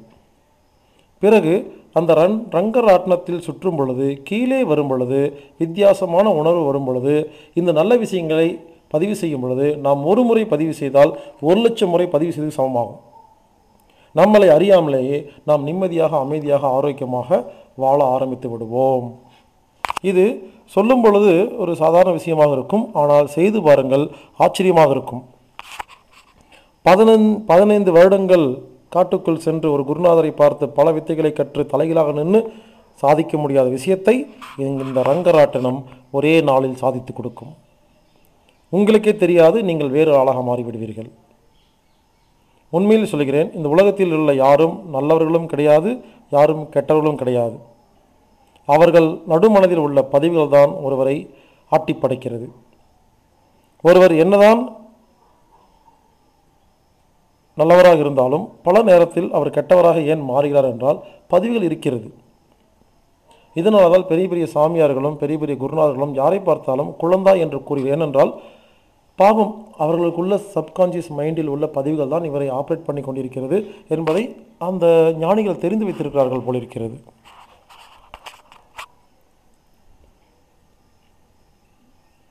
அதேபோல் நாம் மற்றவர்களை பழிக்கு பழி வாங்க வேண்டும் என்ற எண்ணத்தில் நாம் எப்படியெல்லாம் அவர்கள் கஷ்டப்பட வேண்டும் நினைக்கிறோமோ நமக்கு அந்த கஷ்டம் வரும். உதாரணமாக நாம் ஒருவரை மனதில் நினைத்து அவர்கள் நாசமாக போக வேண்டும் என்று நாம் நினைத்தால் நாம் தான் நாசமாக போவோம். ஏனென்றால் நாசமாக போக வேண்டும் என்று கற்பனை பண்ணுவது நமது மனம். அப்பொழுது நமது மனதில் பதிவு ஏற்பட்டு நாம் நாசமாக போய்விடுகிறோம். தயவுசெய்து புரிந்து கொள்ளுங்கள் உங்கள் எதிரிகளை துரோகிகளை மற்றவர்களை நாம் சபிக்கும் பொழுது அந்த சாபம் நமது மனதில் பதிவாகி நாம் அந்த சாபத்துக்கு ஆளாகிறோம் என்பதை புரிந்து கொள்ளுங்கள். அது அவர்களுக்கு செல்லாது. எனவே நாம் மற்றவர்களை பற்றி நினைக்கும் பொழுது உதாரணமாக இப்படி நினைக்கலாம். யார் உங்களை யாரை பற்றி நீங்கள் நினைக்கும் பொழுது அளவுக்கு அதிகமாக கோபம் வருகிறதோ இனிமேல் அவரை பற்றி நினைக்கும் பொழுது இவரை பற்றி நான் நினைக்கும் பொழுது நிம்மதியாக இருக்கிறேன். எது நடந்தால் நாம் இவரை பற்றி நினைக்கும் பொழுது நிம்மதியாக உணர்வேன் என்று நாம் எண்ணங்களை பதிவு செய்து கொண்டால் அந்த எது நடந்தால் என்ற ஒரு விஷயம் விரைவில் நடக்கும். அந்த விஷயம் நடக்கும் பொழுது நமது மனது நிம்மதியாகிவிடும். எனவே இப்படி ஒரு கெட்ட விஷயத்தை நல்ல விஷயமாக மாற்றுவதற்கு நாம் மனதை எண்ணங்களை சொல்களை செயல் மாற்ற வேண்டும் என்பதை புரிந்து கொள்ளுங்கள். எனவே தயவு செய்து மற்றவர்கள் கெடுக்க வேண்டும் என்ற எண்ணம் யாருக்கெல்லாம் இருக்கிறதோ உடனடியாக நாம் சில காரியங்களை செய்தால் மட்டுமே நிம்மதியாக வாழ்வோம். இல்லை என்றால் நாம் கெட்டுவிடுவோம். உதாரணமாக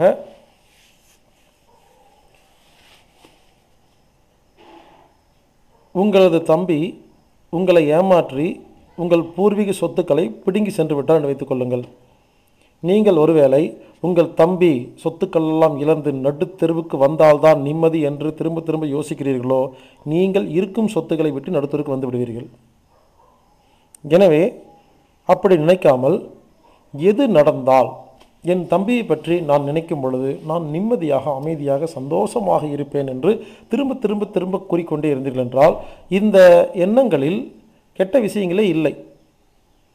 அதாவது எது நடந்தால் என் தம்பியை பற்றி நான் நினைக்கும் பொழுது நிம்மதியாக சந்தோஷமாக இருப்பேன் என்று திரும்ப திரும்ப கூறும் பொழுது அந்த எது நடந்தால் என்ற வார்த்தைக்கு ஏதோ ஒரு விஷயம் நடக்கும். நீங்கள் நட நினைத்த விஷயம் நடக்க வேண்டிய அவசியமில்லை. ஏதாவது ஒரு நடக்கும். அந்த விஷயத்தை நீங்கள் கேள்விப்பட்ட அடுத்த நிமிடம் உங்கள் தம்பி மேல் உள்ள அந்த கோபம் தீர்ந்து நீங்கள் நிம்மதியாகி விடுவீர்கள்.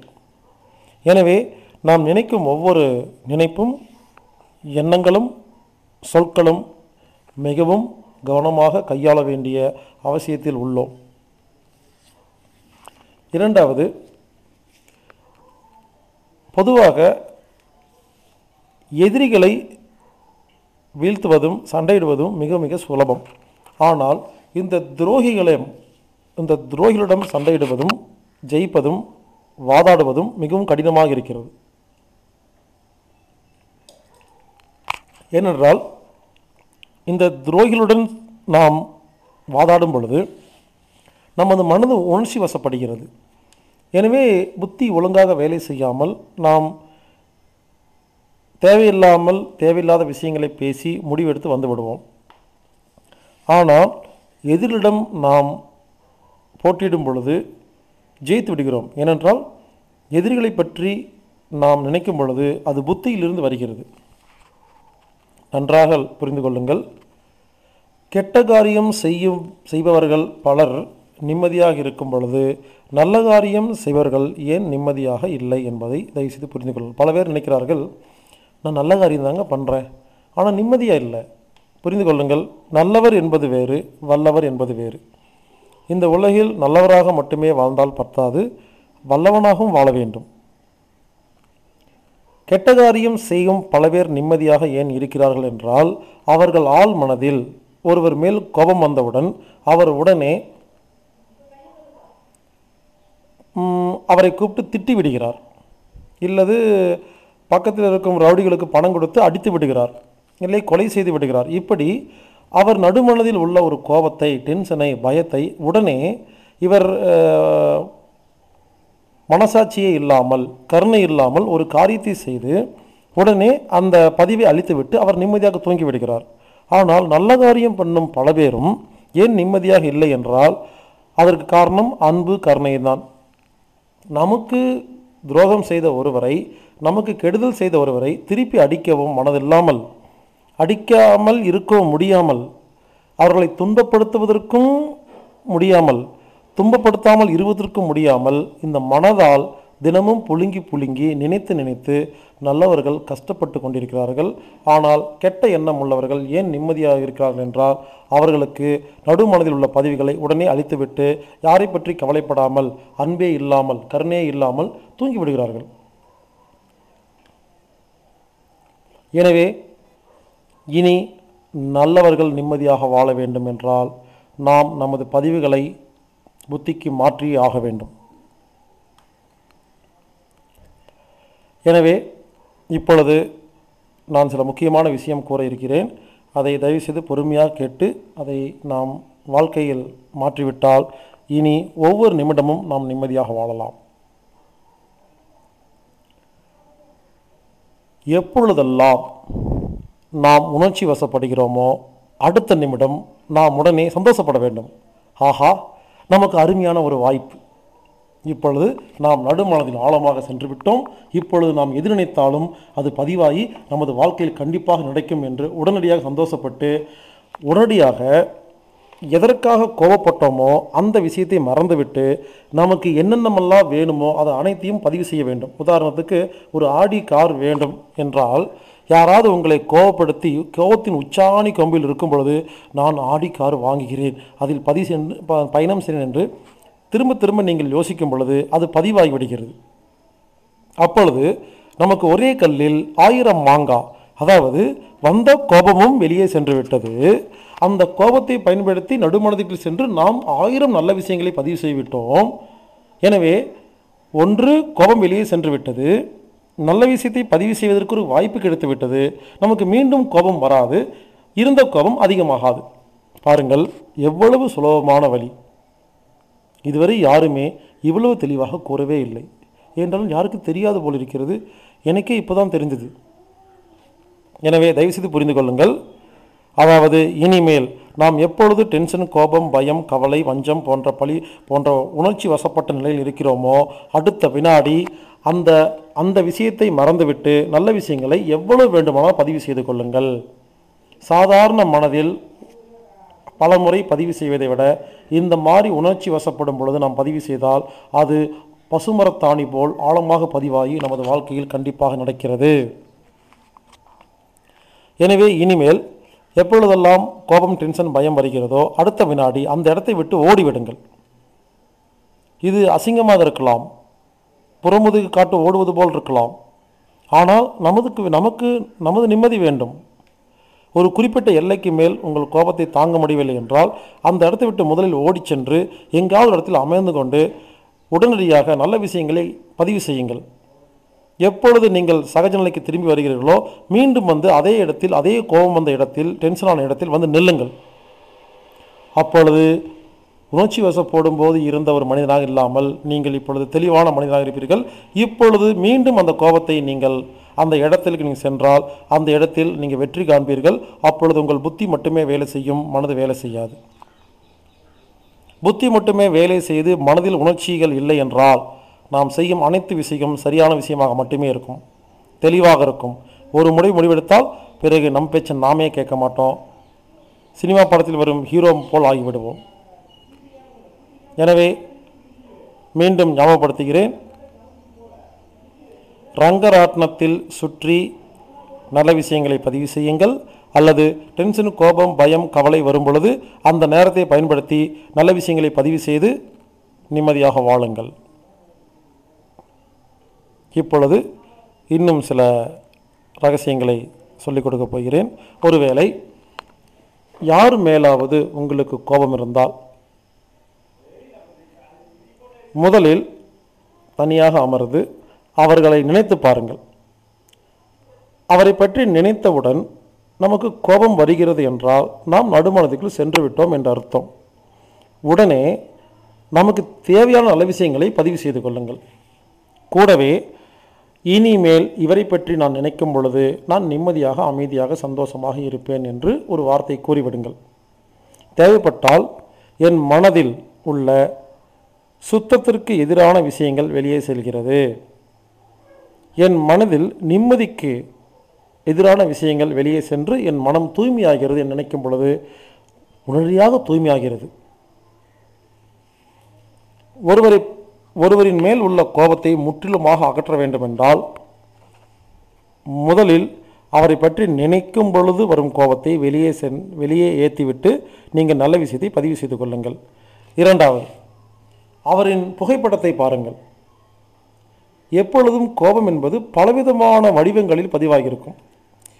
சிலரை ஃபோட்டோவில் பார்த்தால் கோபம் வரும். அப்பொழுது அந்த ஃபோட்டோவை தனியாக உட்கார்ந்து யாரை நினைத்தால் கோபம் வருமோ அவர் ஃபோட்டோவை பாருங்கள். கோபம் வந்து விட்டதா? உடனே கண்ணை மூடி நல்ல விஷயத்தை பதிவு செய்து கொள்ளுங்கள். எப்பொழுது ஃபோட்டோவை பார்த்து உங்களுக்கு கோபமே வரவில்லையோ உங்கள் மனதில் அவரை பற்றிய கோபங்கள் நீக்கப்பட்டது என்பதை புரிந்து கொள்ளுங்கள். அடுத்தது அவர் பேசிய ஆடியோவை கேளுங்கள். சில நேரத்தில் அது கோபப்படுத்தும். இப்படி கேட்டு கேட்டு எப்பொழுது அவர் பேசுவதை நீங்கள் ஆடியோவில் கேட்கிறீர்களோ உங்களுக்கு கோபமே வரவில்லை என்றால் அந்த கோபம் அளிக்கப்பட்டது. அடுத்தது அவர் நடப்பது போவது வருவது பேசுவது போன்ற வீடியோ இருந்தால் அதை டிவியில் போட்டு பாருங்கள். அப்பொழுது ஒருவேளை கோபம் வந்தால் உடனே டிவியை நிறுத்திவிட்டு கண்ணை மூடி நல்ல விஷயங்களை பதிவு செய்யுங்கள். மீண்டும் மீண்டும் இந்த காரியம் செய்யுங்கள். எப்பொழுது அவரை டிவியில் நீங்கள் வீடியோவில் பார்க்கும் பொழுது உங்களுக்கு கோபமே வரவில்லை என்றால் அது புத்திக்கு சென்றுவிட்டது அளிக்கப்பட்டு விட்டது. அடுத்தது அவருக்கு ஃபோன் செய்யுங்கள். அவருக்கு ஃபோன் செய்து அவரோட வார்த்தையை கேட்கும் பொழுது உங்களுக்கு கோபம் வரலாம். வருகிறதா இல்லையா என்று சோதித்து பாருங்கள். எப்பொழுது வ வருகிறதோ உடனே அவருடைய பேசும் பொழுதே அவரிடம் பேச பேச பேச வாய் பேசிக்கொண்டிருக்க வேண்டும். ஆனால் நீங்கள் மனதில் நல்ல விஷயங்களை பதிவு செய்து கொண்டே இருக்க வேண்டும். ஒருவேளை கோபம் அதிகமாகிவிட்டது. இனிமேல் பேச முடியவில்லை. வாய் குளறுகிறது என்றால் உடனே செல்போனை கட் பண்ணிவிட்டு தனியாக உட்கார்ந்து நல்ல விஷயங்களை பதிவு செய்து மீண்டும் சைதநிலைக்கு வந்தவுடன் மீண்டும் அவருக்கு ஃபோன் செய்ய வேண்டும். எப்பொழுது அவர்களிடம் பேசும் பொழுது நாம் உணர்ச்சி வசப்படவில்லையோ? அந்த கெட்ட பதிவுகள் புத்திக்கு வந்துவிட்டது என்ற அர்த்தம்.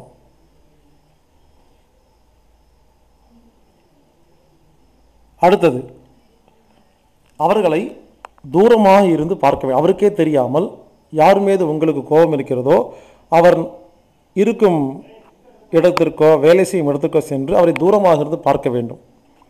ஒருவேளை கோபம் வந்தால் உங்கள் மனதிற்குள் அவரை பற்றி கோபம் இன்னும் இருக்கிறது என்ற அர்த்தம். இல்லை என்றால் அது அழிக்கப்பட்டது என்ற அர்த்தம். ஒருவேளை வந்தால் அதையும் நாம் ஏற்கனவே கூறிய வழிமுறைப்படி அப்புறப்படுத்துங்கள். அடுத்தது அவரை நேரடியாக சென்று கண்ணு கண்ணு நேராக பார்க்க வேண்டும்.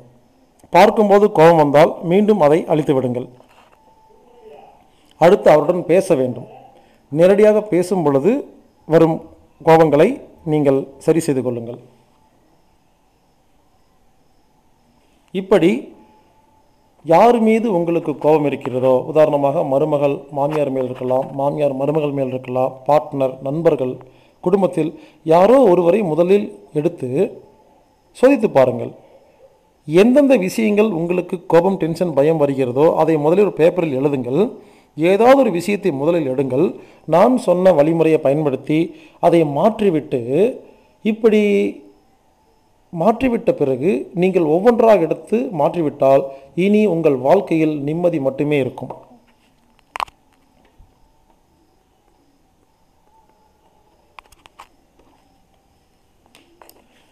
எனவே எதிரிகளை சமாளிக்க வேண்டுமென்றால் துரோகிகளை சமாளிக்க வேண்டுமென்றால் நாம் மனது நிம்மதியாக வாழ வேண்டுமென்றால் முதலில் நான் கூறிய வழிமுறைகளை பயன்படுத்தி நாம் மனதை வெல்ல வேண்டும்.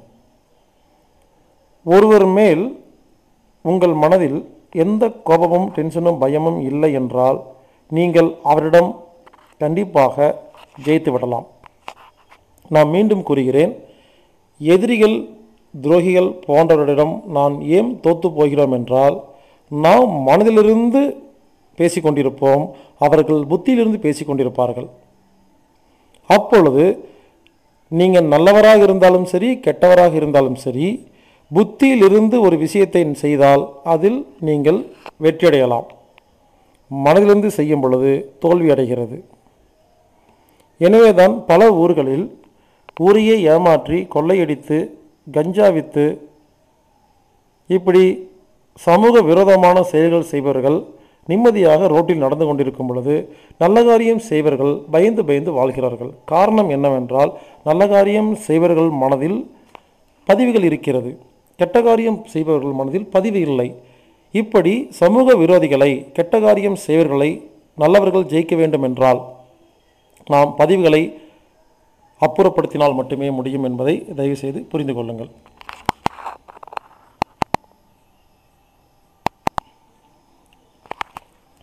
தயவுசெய்து நமது மனதில் நிம்மதிக்கு எதிரான விஷயங்கள் இருப்பதை முதலில் பட்டியலிடுங்கள். ஒரே ஒரு விஷயத்தை மட்டும் எடுங்கள். அதை சரி செய்யுங்கள். பிறகு அடுத்த விஷயம் ஒவ்வொன்றாக செய்யுங்கள். ஏனென்றால் முதல் கெட்ட பதிவை நீக்கும் பொழுது நாம் செய்யும் தவறுகளை இரண்டாவது பதிவுகள் நீ- நீ- நீக்கும் பொழுது நாம் சரி செய்து விடலாம். ஒவ்வொரு பதிவை நீக்கும் பொழுது நமக்கு எக்ஸ்பீரியன்ஸ் கிடைக்கிறது அனுபவம் கிடைக்கிறது. எனவே பொறுமையாக செய்யுங்கள். ஐம்பது வருடத்திற்கு பிறகு நிம்மதியாக வாழ வேண்டிய நாம் ஐந்து மாதம் சரியாக பயன்படுத்தினால் நாம் உலகத்தில் மிகவும் நிம்மதியான ஒரு மனிதனாக மாறிவிட முடியும். எனவே இந்த பயிற்சியை மிகவும் தெளிவாக பொறுமையாக செய்ய வேண்டும்.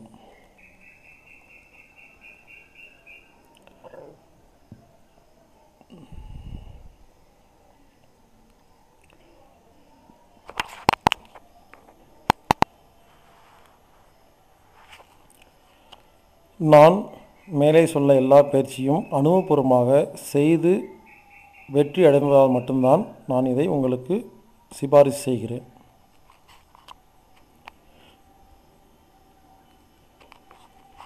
நான் கல்லூரியில் படிக்கும் பொழுது என்னுடன் ஒரு நண்பர் படித்து கொண்டிருந்தார். அதன் பிறகு நாங்கள் பிரிந்து விட்டோம். பல வருடங்களுக்கு பிறகு என்னை கோயம்புத்தூரில் நேரில் வந்து சந்தித்தார். என்னிடம் அழுதார். ஏனென்றால் அவர் வாழ்ந்த ஊரில் ஊரெல்லாம் பல லட்சம் ரூபாய் கடனாக வாங்கிவிட்டு கடனை திரும்ப திரு செலுத்த முடியாமல் ஓடி வந்துவிட்டதாக கூறினார். எனவே என்னை காப்பாற்றுங்கள். சாப்பாட்டுக்கே வழி இல்லை மனைவி குழந்தைகள் இருக்கிறார்கள் என்று கெஞ்சினார். நான் இங்கே இருப்பதை தயவுசெய்து யாரிடமும் கூற வேண்டாம் என்று கூறினார் ஏனென்றால் அவர் ஏமாற்றியது அனைத்தும் எனது மற்ற நண்பர்கள். எனக்கு அப்பொழுது பாவமாக இருந்தது. தனியாக இருந்தாலும் பரவாயில்லை. குழந்தை மனைவி இருப்பதால் நான் அவருக்கு உதவி செய்து வேலை வாங்கி கொடுத்து வீடு பிடித்து எனது பல நண்பர்களுக்கு இந்த விஷயத்தை சொல்லாமல் அவர்கள் என்னை என்னிடம் தொலைபேசியில் தொடர்பு கொண்டு அவன் வந்தானா என்று கேட்கும் பொழுது இல்லை என்று சொல்லி இவருக்காக நான் பொய் சொல்லி இவரை காப்பாற்றி வாழ வைத்தேன். ஆனால் அந்த ஊரில் என்ன தவறு செய்தாரோ அதே தவறை இங்கேயும் நான் எந்த இடத்தில் வேலை சேர்த்து விட்டேனோ அதே இடத்திலும் செய்துவிட்டு பலரை ஏமாற்றி அவர் சம்பாதிக்க ஆரம்பித்து விட்டார். இவரை நினைக்கும் பொழுதெல்லாம் எனக்கு கோபம் வரும். அந்த நண்பரை பார்க்கும் பொழுது கோபம் வரும். அவரிடம் பேசினால் கோபம் வரும். நான் இந்த மேலே சொன்ன ரங்கராட்ன ரகசிய வித்தையை பயன்படுத்தி நான் அவர் அவர் மேல் உள்ள மனதில் உள்ள கோபத்தை இப்பொழுது புத்திக்கு மாற்றிவிட்டேன். நான் உண்மையாக செய்து பார்த்தேன். மிகவும் நன்றாக இருந்தது. இப்பொழுது அதே மனிதரை நான் பார்க்கும் பொழுது எனக்கு கோபம் வரவே இல்லை. நான் சொல்ல வேண்டிய அனைத்தையும் அவரிடம் நேரடியாக சென்று கூறிவிட்டேன். ஒருவேளை எனக்கு இந்த ரகசியம் தெரியாமல் இருந்திருந்தால் இவர் மேல் எனக்கு இருந்த கோபம் என் வாழ்க்கையில் மிகப்பெரிய துன்பத்தை ஏற்படுத்தி வருகிறது. அவர் நிம்மதியாக வாழ்கிறார் ஆனால் நான் நிம்மதியாக வாழவில்லை. அவரை பற்றி நினைக்கும் பொழுதெல்லாம் நான் தான் கஷ்டப்படுகிறேன். நான் கஷ்டப்படுகிறேன் என்ற விஷயம் கூட அவருக்கு தெரியாமல் அவர் நிம்மதியாக வாழ்கிறார். இதுதான் எல்லாத்துடைய நிலைமையும். அதேபோல் இரண்டாவது ஒரு உதாரணம்.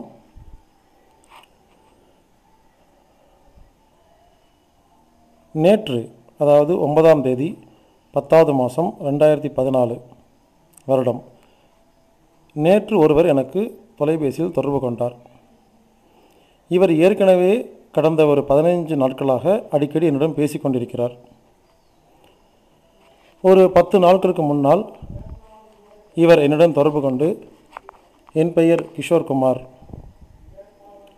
நான் ஜெயலலிதாவின் அசிஸ்டண்ட் நான் ஐஏஎஸ் அதிகாரி. தமிழ்நாட்டில் உள்ள மிகப்பெரிய பல பொறுப்புகளை வகித்து வருகிறேன். நான் சென்னையில் ஐஏஎஸ் அகாடமி நடத்தி வருகிறேன்.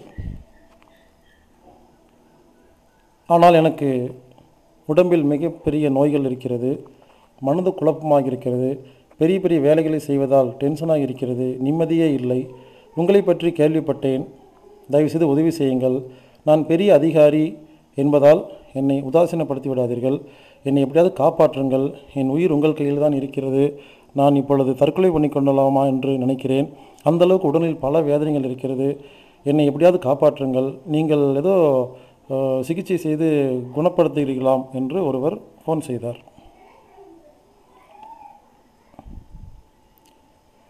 நானும் அவருக்கு தொலைபேசியில் பலவிதமான விஷயங்களை புரிய வைத்தேன்.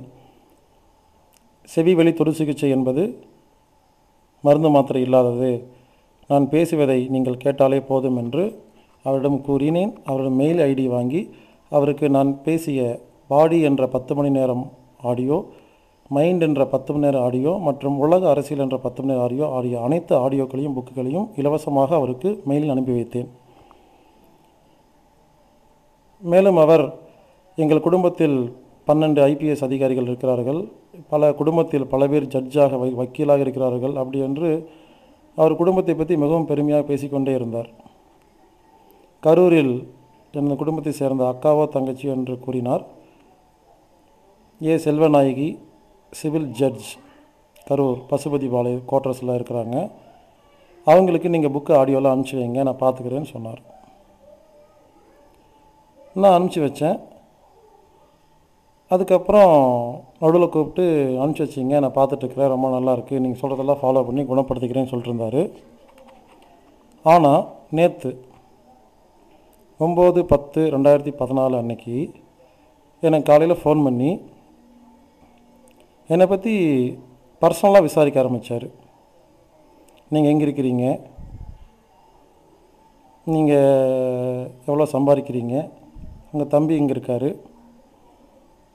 உங்களுடைய ஆஃபீஸ் யார் பேரில் இருக்குது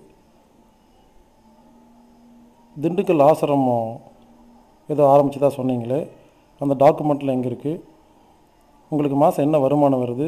பர்மிஷன் வாங்குனீங்களா? அது இதுன்னு ஏகப்பட்ட கேள்வி கேட்டவுடனே நான் திருப்பி கேட்டேன் சார் நீங்கள் நோயின்னு சொல்லி என்கிட்ட பேசுனீங்க பதில் சொல்லிட்டு இருந்தேன். இப்போ பர்சனலாக கேட்குறீங்க நீங்கள் பேசுகிறது சரியில்லை. வேறு ஏதோ இன்ஃபர்மேஷனுக்காக கேட்குற மாதிரி இருக்குன்னு சொன்னேன். அவர் சொன்னார் ஆமாம் நான் அதுக்காக தான் கேட்குறேன் உன் மேலே கம்ப்ளைண்ட் வந்திருக்கு. பெரிய கம்ப்ளைண்ட் வந்திருக்கு. நான் ஆக்ஷன் எடுக்க போகிறேன் நான் உன்னை அரெஸ்ட் பண்ண போகிறேன் அது சம்மந்தமாக தான் பேசிகிட்ருக்கிறேன் நீ ஒரு வேளை நான் சொல்கிறதெல்லாம் கேட்டிங்கன்னா அரெஸ்ட் பண்ணாமல் உன்னை காப்பாற்றி கொடுப்பேன். இதே மாதிரி தான் நித்யானந்தருக்கும் நான் தான் ஹெல்ப் பண்ணேன். ஈசா யோகா ஜக்கி வாசனுக்கும் நான் நேரில் போய் பார்த்துட்டு வந்து அவர்கிட்டையும் நாங்கள் நிறையா பணம் வாங்கிட்டு இருக்கோம் அதனால தான் விட்டு வச்சுருக்குறோம். நீ ஒத்துழைக்கலைன்னா உன்னை நாங்கள் வந்து அழிச்சிடுவோம் நான் நினச்சேன்னா ஒரே நாளில் ஒன்று அழிக்க முடியும். ஏன்னா கம்ப்ளைண்ட் வந்திருக்கு அப்படின்னு சொன்னார். நான் சொன்னேன் என் மேலே ஒருத்தன் கம்ப்ளைண்ட் கொடுத்தாங்கன்னா அவன் கெட்டவங்களாக தான் இருப்பாங்க. ஏன்னா உலகத்தில் மறைக்கப்பட்ட உண்மைகளை நான் தெளிவாக சொல்லிட்டு வரேன்.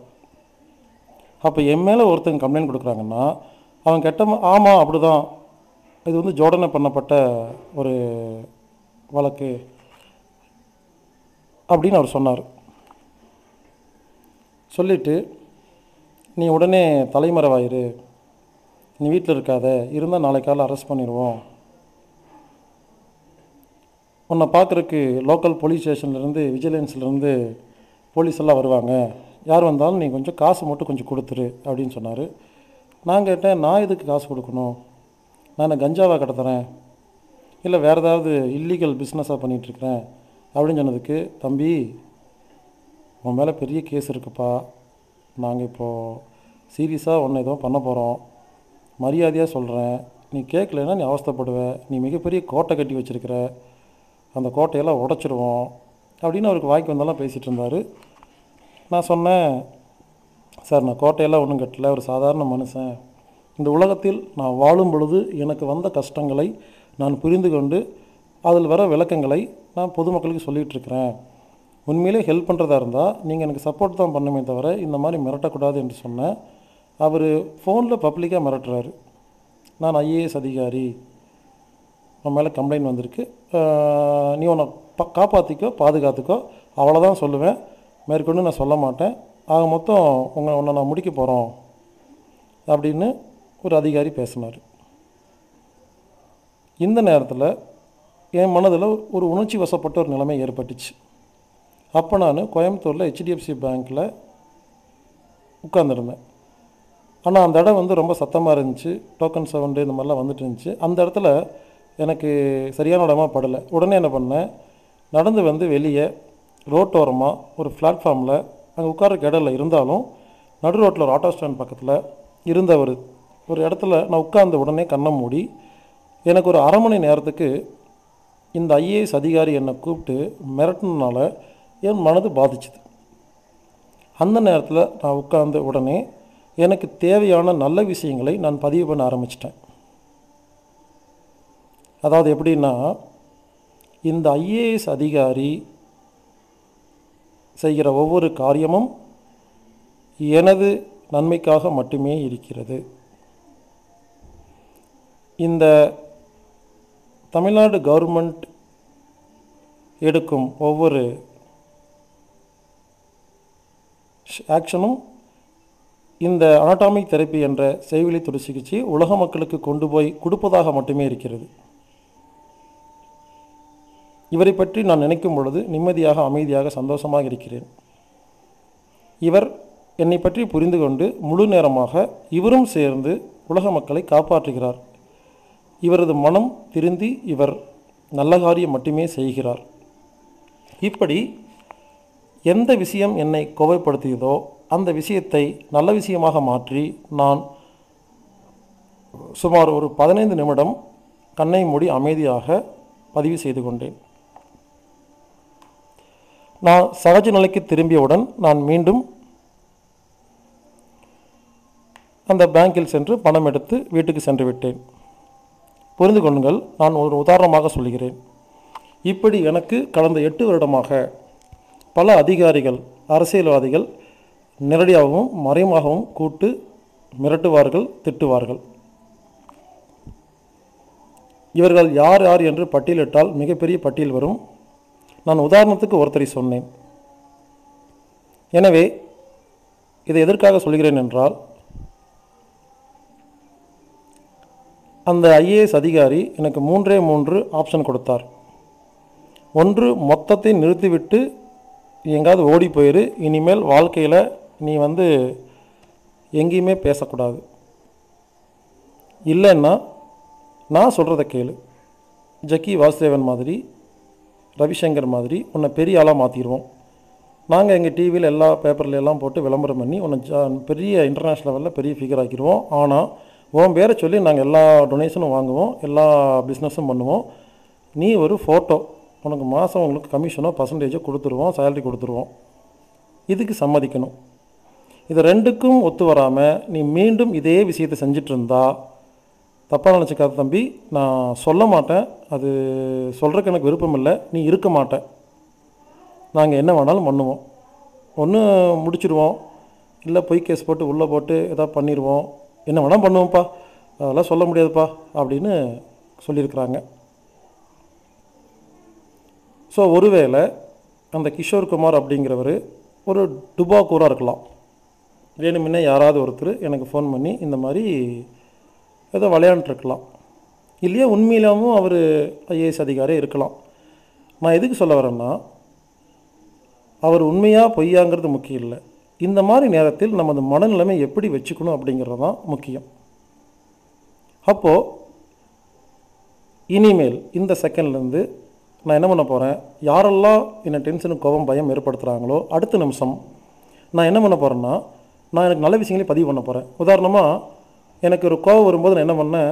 ஏஆர் ரஹ்மான் மியூசிக்கில் சங்கர் டைரக்ஷனில் நான் ஒரு படத்தில் ஹீரோவாக நடிக்கணும்னு ரெக்கார்ட் பண்ணிட்டேன். கண்டிப்பாக சொல்கிறேன் சங்கர் என்னை கூப்பிட்டே ஆகணும். ஏன்னா நான் பதிவு பண்ணியாச்சு. ஸோ புரிந்து கொள்ளுங்கள். நமக்கு வரும் நல்லதுக்கு புறம்பான விஷயங்களை நாம் நல்ல விஷயமாக மாற்றுவது எப்படி என்பதுதான் இந்த ரங்கராட்டன் ரகசியம். இதை மற்றும் தெளிவாக புரிந்து கொண்டால் நாம் இனி இனிமேல் நிம்மதியாக மட்டுமே வாழ முடியும்.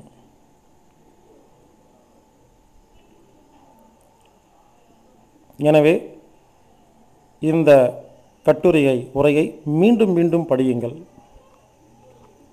நான் இன்று எனக்கு உள்ள அறிவிற் பிரகாரம் இந்த கட்டுரையை உரையை கொடுக்கிறேன். ஆனால் இதே ரங்கராட்ன ரகசியத்தை ஒரு வருடத்திற்கு பிறகு என்னிடம் கேட்டால் நான் வேறு விதமாக கூறுவேன். என்றால் எனக்கு அனுபவத்தில் இதை நான் செய்து பார்க்கும்போது கிடை நல்ல கெட்ட விஷயங்களை நான் புரிந்து கொண்டு என் அனுபவம் அதிகமாகிவிடும். எனவே ரங்கராட்ன ரகசியத்தை சரியாக பயன்படுத்தி நாம் இனிமேல் நிம்மதியாக வாழ்வோம். எதிரிகளை துரோகிகளை வெல்வோம்.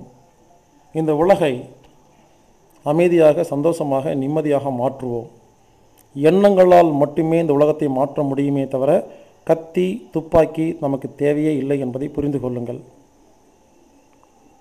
போட்டி பகை இல்லாமல் இந்த உலகத்தில் எத்தனை பேர் உட்கார்ந்து இந்த உலகம் நிம்மதியாக அமைதியாக சந்தோஷமாக இருக்கிறது நினைக்கிறோமோ அந்த அளவுக்கு இந்த உலகத்தை மாற்ற முடியும். எனவே ரங்கராட்ன ரகசியத்தை தெரிவதற்கு முன்னால் விபாசனா சென்றவர்கள் தயவு செய்து இந்த ரங்கராட்ன ரகசியத்தை முழுவதுமாக புரிந்து கொண்டு மீண்டும் ஒரு முறை விபாசனா சென்று வாருங்கள். இப்பொழுதுதான் புரிகிறது கோவிலில் சென்று ஏன் அழுகிறார்கள் என்று? சாமியை பார்த்து நாம் அழுகும் பொழுது நாம் ஆள் மனதுக்கு செல்கிறோம். அப்பொழுது இறைவா என்னை காப்பாத்துன்னு கண்ணில் கண்ணீருடன் அழுகும் பொழுது நாம் ஆண் மனத்தில் சென்று பதிவு செய்து அது நடக்கிறது. அடுத்தது மந்திரங்கள். நூற்றி எட்டு முறை மந்திரங்கள் ஏன் உச்சரிக்கிறார்கள் என்றால் ஒரே விஷயத்தை திரும்ப திரும்ப திரும்ப நூற்றி எட்டு முறை சொல்லும் பொழுது நாம் ஆள் மனதிற்குள் செல்கிறோம். நான் ஆரோக்கியமாக இருக்கிறேன் நான் ஆரோக்கியமாக இருக்கிறேன் என்று கண்ணை மூடி முழு கவனத்துடன் நூற்றி எட்டு முறை சொல்லும் பொழுது நூற்றி எட்டாவது முறை அது நமது நடுமனதுக்குள் செல்கிறது. ஆனால் நாம் உணர்ச்சி வசப்படும் பொழுது ஒரே உறவு நினைத்தால் அது பதிவாகி விடுகிறது. மேலும் இன்னொரு ஐடியா இப்படி உணர்ச்சி வசப்பட்ட நிலையில் இருக்கும் பொழுது முடிந்தவரை அந்த கால அவகாசத்தை குறையுங்கள். உதாரணமாக ஒரு கோபம் வந்துவிட்டது. அதற்கு பதினஞ்சு நிமிடம் எடுக்கொள்கிறது நார்மலாக வருவதற்கு. சில பேருக்கு இரண்டு மணி நேரம் மூன்று மணி நேரம் அதே கோபத்தில் இருந்தால் அது தவறு. ஏனென்றால் மூன்று மணி நேரமும் நாம் நல்ல விஷயம் நினைத்து கொண்டே இருக்க முடியாது. நம்மளே அறியாமல் சில கெட்ட விஷயம் நினைத்து விடுவோம். எனவே இந்த உணர்ச்சி வசப்பட்ட நிலையில் இருக்கும் பொழுது நல்ல விஷயங்களை அவசர அவசரமாக பதிவு செய்து உடனே வெளியே வரக்கு முயற்சி செய்யுங்கள். ஏன் ஏனென்றால் ஒரு முறை பதிவு செய்தால் போதும். எனவே ஒருவேளை உணர்ச்சி வசப்பட்ட நிலையில் நீங்கள் நல்ல விஷயத்தை பதிவு கொண்டு செய்து கொண்டிருக்கும் பொழுது அந்த இடத்தில் வெளியே வராமல் அதே நிலையில் இருந்தால் உடனடியாக டுவா தூக்கம் என்ற இரட்டை தூக்கத்தை பயன்படுத்துங்கள். டுவா ஸ்லீப் என்ற ஒரு தூக்கத்தை நான் ஏற்கனவே கற்றுக் கொடுத்திருக்கிறேன். அது என்ன என்பதை நான் அமைதி ஆரோக்கியம் என்ற பத்திரிகையில் ஏற்கனவே எழுதியிருக்கிறேன். அதை வாங்கி படித்து விடுங்கள். ஒரு மனிதனை அரை மணி நேரத்தில் நிம்மதியாக தூங்க வைப்பது எப்படி என்பதுதான் அந்த டுவா தூக்கம். ஒருவேளை உணர்ச்சி வசப்பட்ட நிலையில் இருக்கும் நேரம் அதிகமாக இருக்கும் பொழுது நம்மை எரியாமல் ஒருவேளை கெட்ட விஷயத்தை பதிவு செய்யாமல் இருப்பதற்காக உடனடியாக நீங்கள் டுவா ஸ்லீப் என்ற டெக்னிக்கை பயன்படுத்தி தூங்கி எழுந்திருப்பது மூலமாக நாம் நார்மல் நிலைமைக்கு வர முடியும்.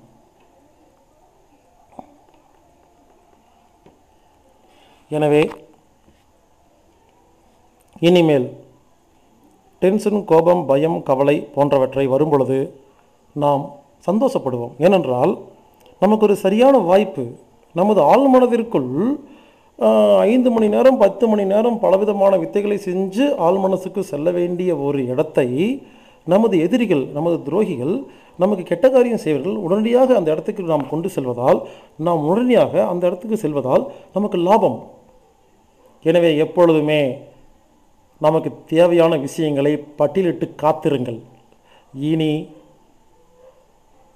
கெட்டதும் நல்லதே கோபமும் நல்லதே டென்ஷனும் நல்லதே. இன்று நமக்கு ஒரு மிகப்பெரிய ஒரு வரச வரப்பிரசாதமாக ஒரு ஞானம் கொடுக்கப்பட்டுள்ளது. இதை யாருக்கு பிராப்தம் இருக்கிறதோ அவருக்கு புரியும். யாருக்கு புரிகிறதோ நீங்கள் வாழ்க்கையில் பயன்படுத்துங்கள். இதை பயன்படுத்தும் பொழுது கண்டிப்பாக இனிமேல் நாம் நிம்மதியாக மட்டுமே வாழ முடியும். இந்த ரங்கராட்ன வித்தையை செய்யும் பொழுது சில முக்கியமான விஷயத்தை மீண்டும் ஞாபகப்படுத்துகிறேன். வார்த்தைகள் ஒவ்வொன்றும் நல்ல விஷயம் நல்ல விதமாக இருக்க வேண்டும். ஒரு முறையாவது விபாசனா மெடிடேஷன் சென்று திரும்பி வர வேண்டும். மூன்றாவது நமது ஆழ்மனதில் எது பதிவு செய்தாலும் நடக்கும். எனவே நல்ல விஷயமாக மட்டுமே இருக்க வேண்டும். இந்த ரங்கராட்ன வித்தையை புரிந்து கொண்டு இனி நாம் நிம்மதியாக ஆரோக்கியமாக அமைதியாக சந்தோஷமாக வாழ்நாள் முழுவதும் ஆனந்தமாக வாழ்வோமாக. வாழ்க வையகம். மேலும் விவரங்களுக்கு anatomic therapy dot ORG master Bhaskar dot ORG என்ற இணையதளத்தை தொடர்பு கொள்ளுங்கள். Email anatomic treatment at Gmail dot com healer Bhaskar at Gmail dot com phone number double nine double four double two one double zero seven nine eight four two four five two five zero eight India நம்பருக்கு தொடர்பு கொள்ளுங்கள் இப்படி பல விஷயங்கள் இருக்குது உடல் மனம் புத்தி உறவுகள் உலக அரசியல்னு பலவிதமான டாப்பிக்கில் நான் பேசிகிட்ருக்கிறேன் எனக்கு புரியறதை பேசிகிட்டு இருக்கேன். நான் ஒரு சாதாரண மனிதன் தான் நான் மிகப்பெரிய மகான் சாமியார் அப்படிலாம் சொல்லலை. ஒரு சாதாரண மனிதன் இந்த உலகத்தில் வாழும் பொழுது எனக்கு வரும் கஷ்டங்கள் துன்பங்களுக்கு நான் எப்படி அதிலேருந்து வெளியே வரேன் அப்படிங்கிறத ஒரு ஞானமாக ஒவ்வொரு நாளும் வீடியோவில் ஆடியோவில் பேசிகிட்ருக்கிறேன் நம்ம எல்லாரும் ஒன்று சேர்ந்து இந்த உலகத்தை மாற்றுவோம் எண்ணத்தால் ஒழுங்குபடுத்துவோம். வாழ்க வையகம் வாழ்க வளமுடன். குருவே துணை எல்லா புகழும் இறைவனுக்கே.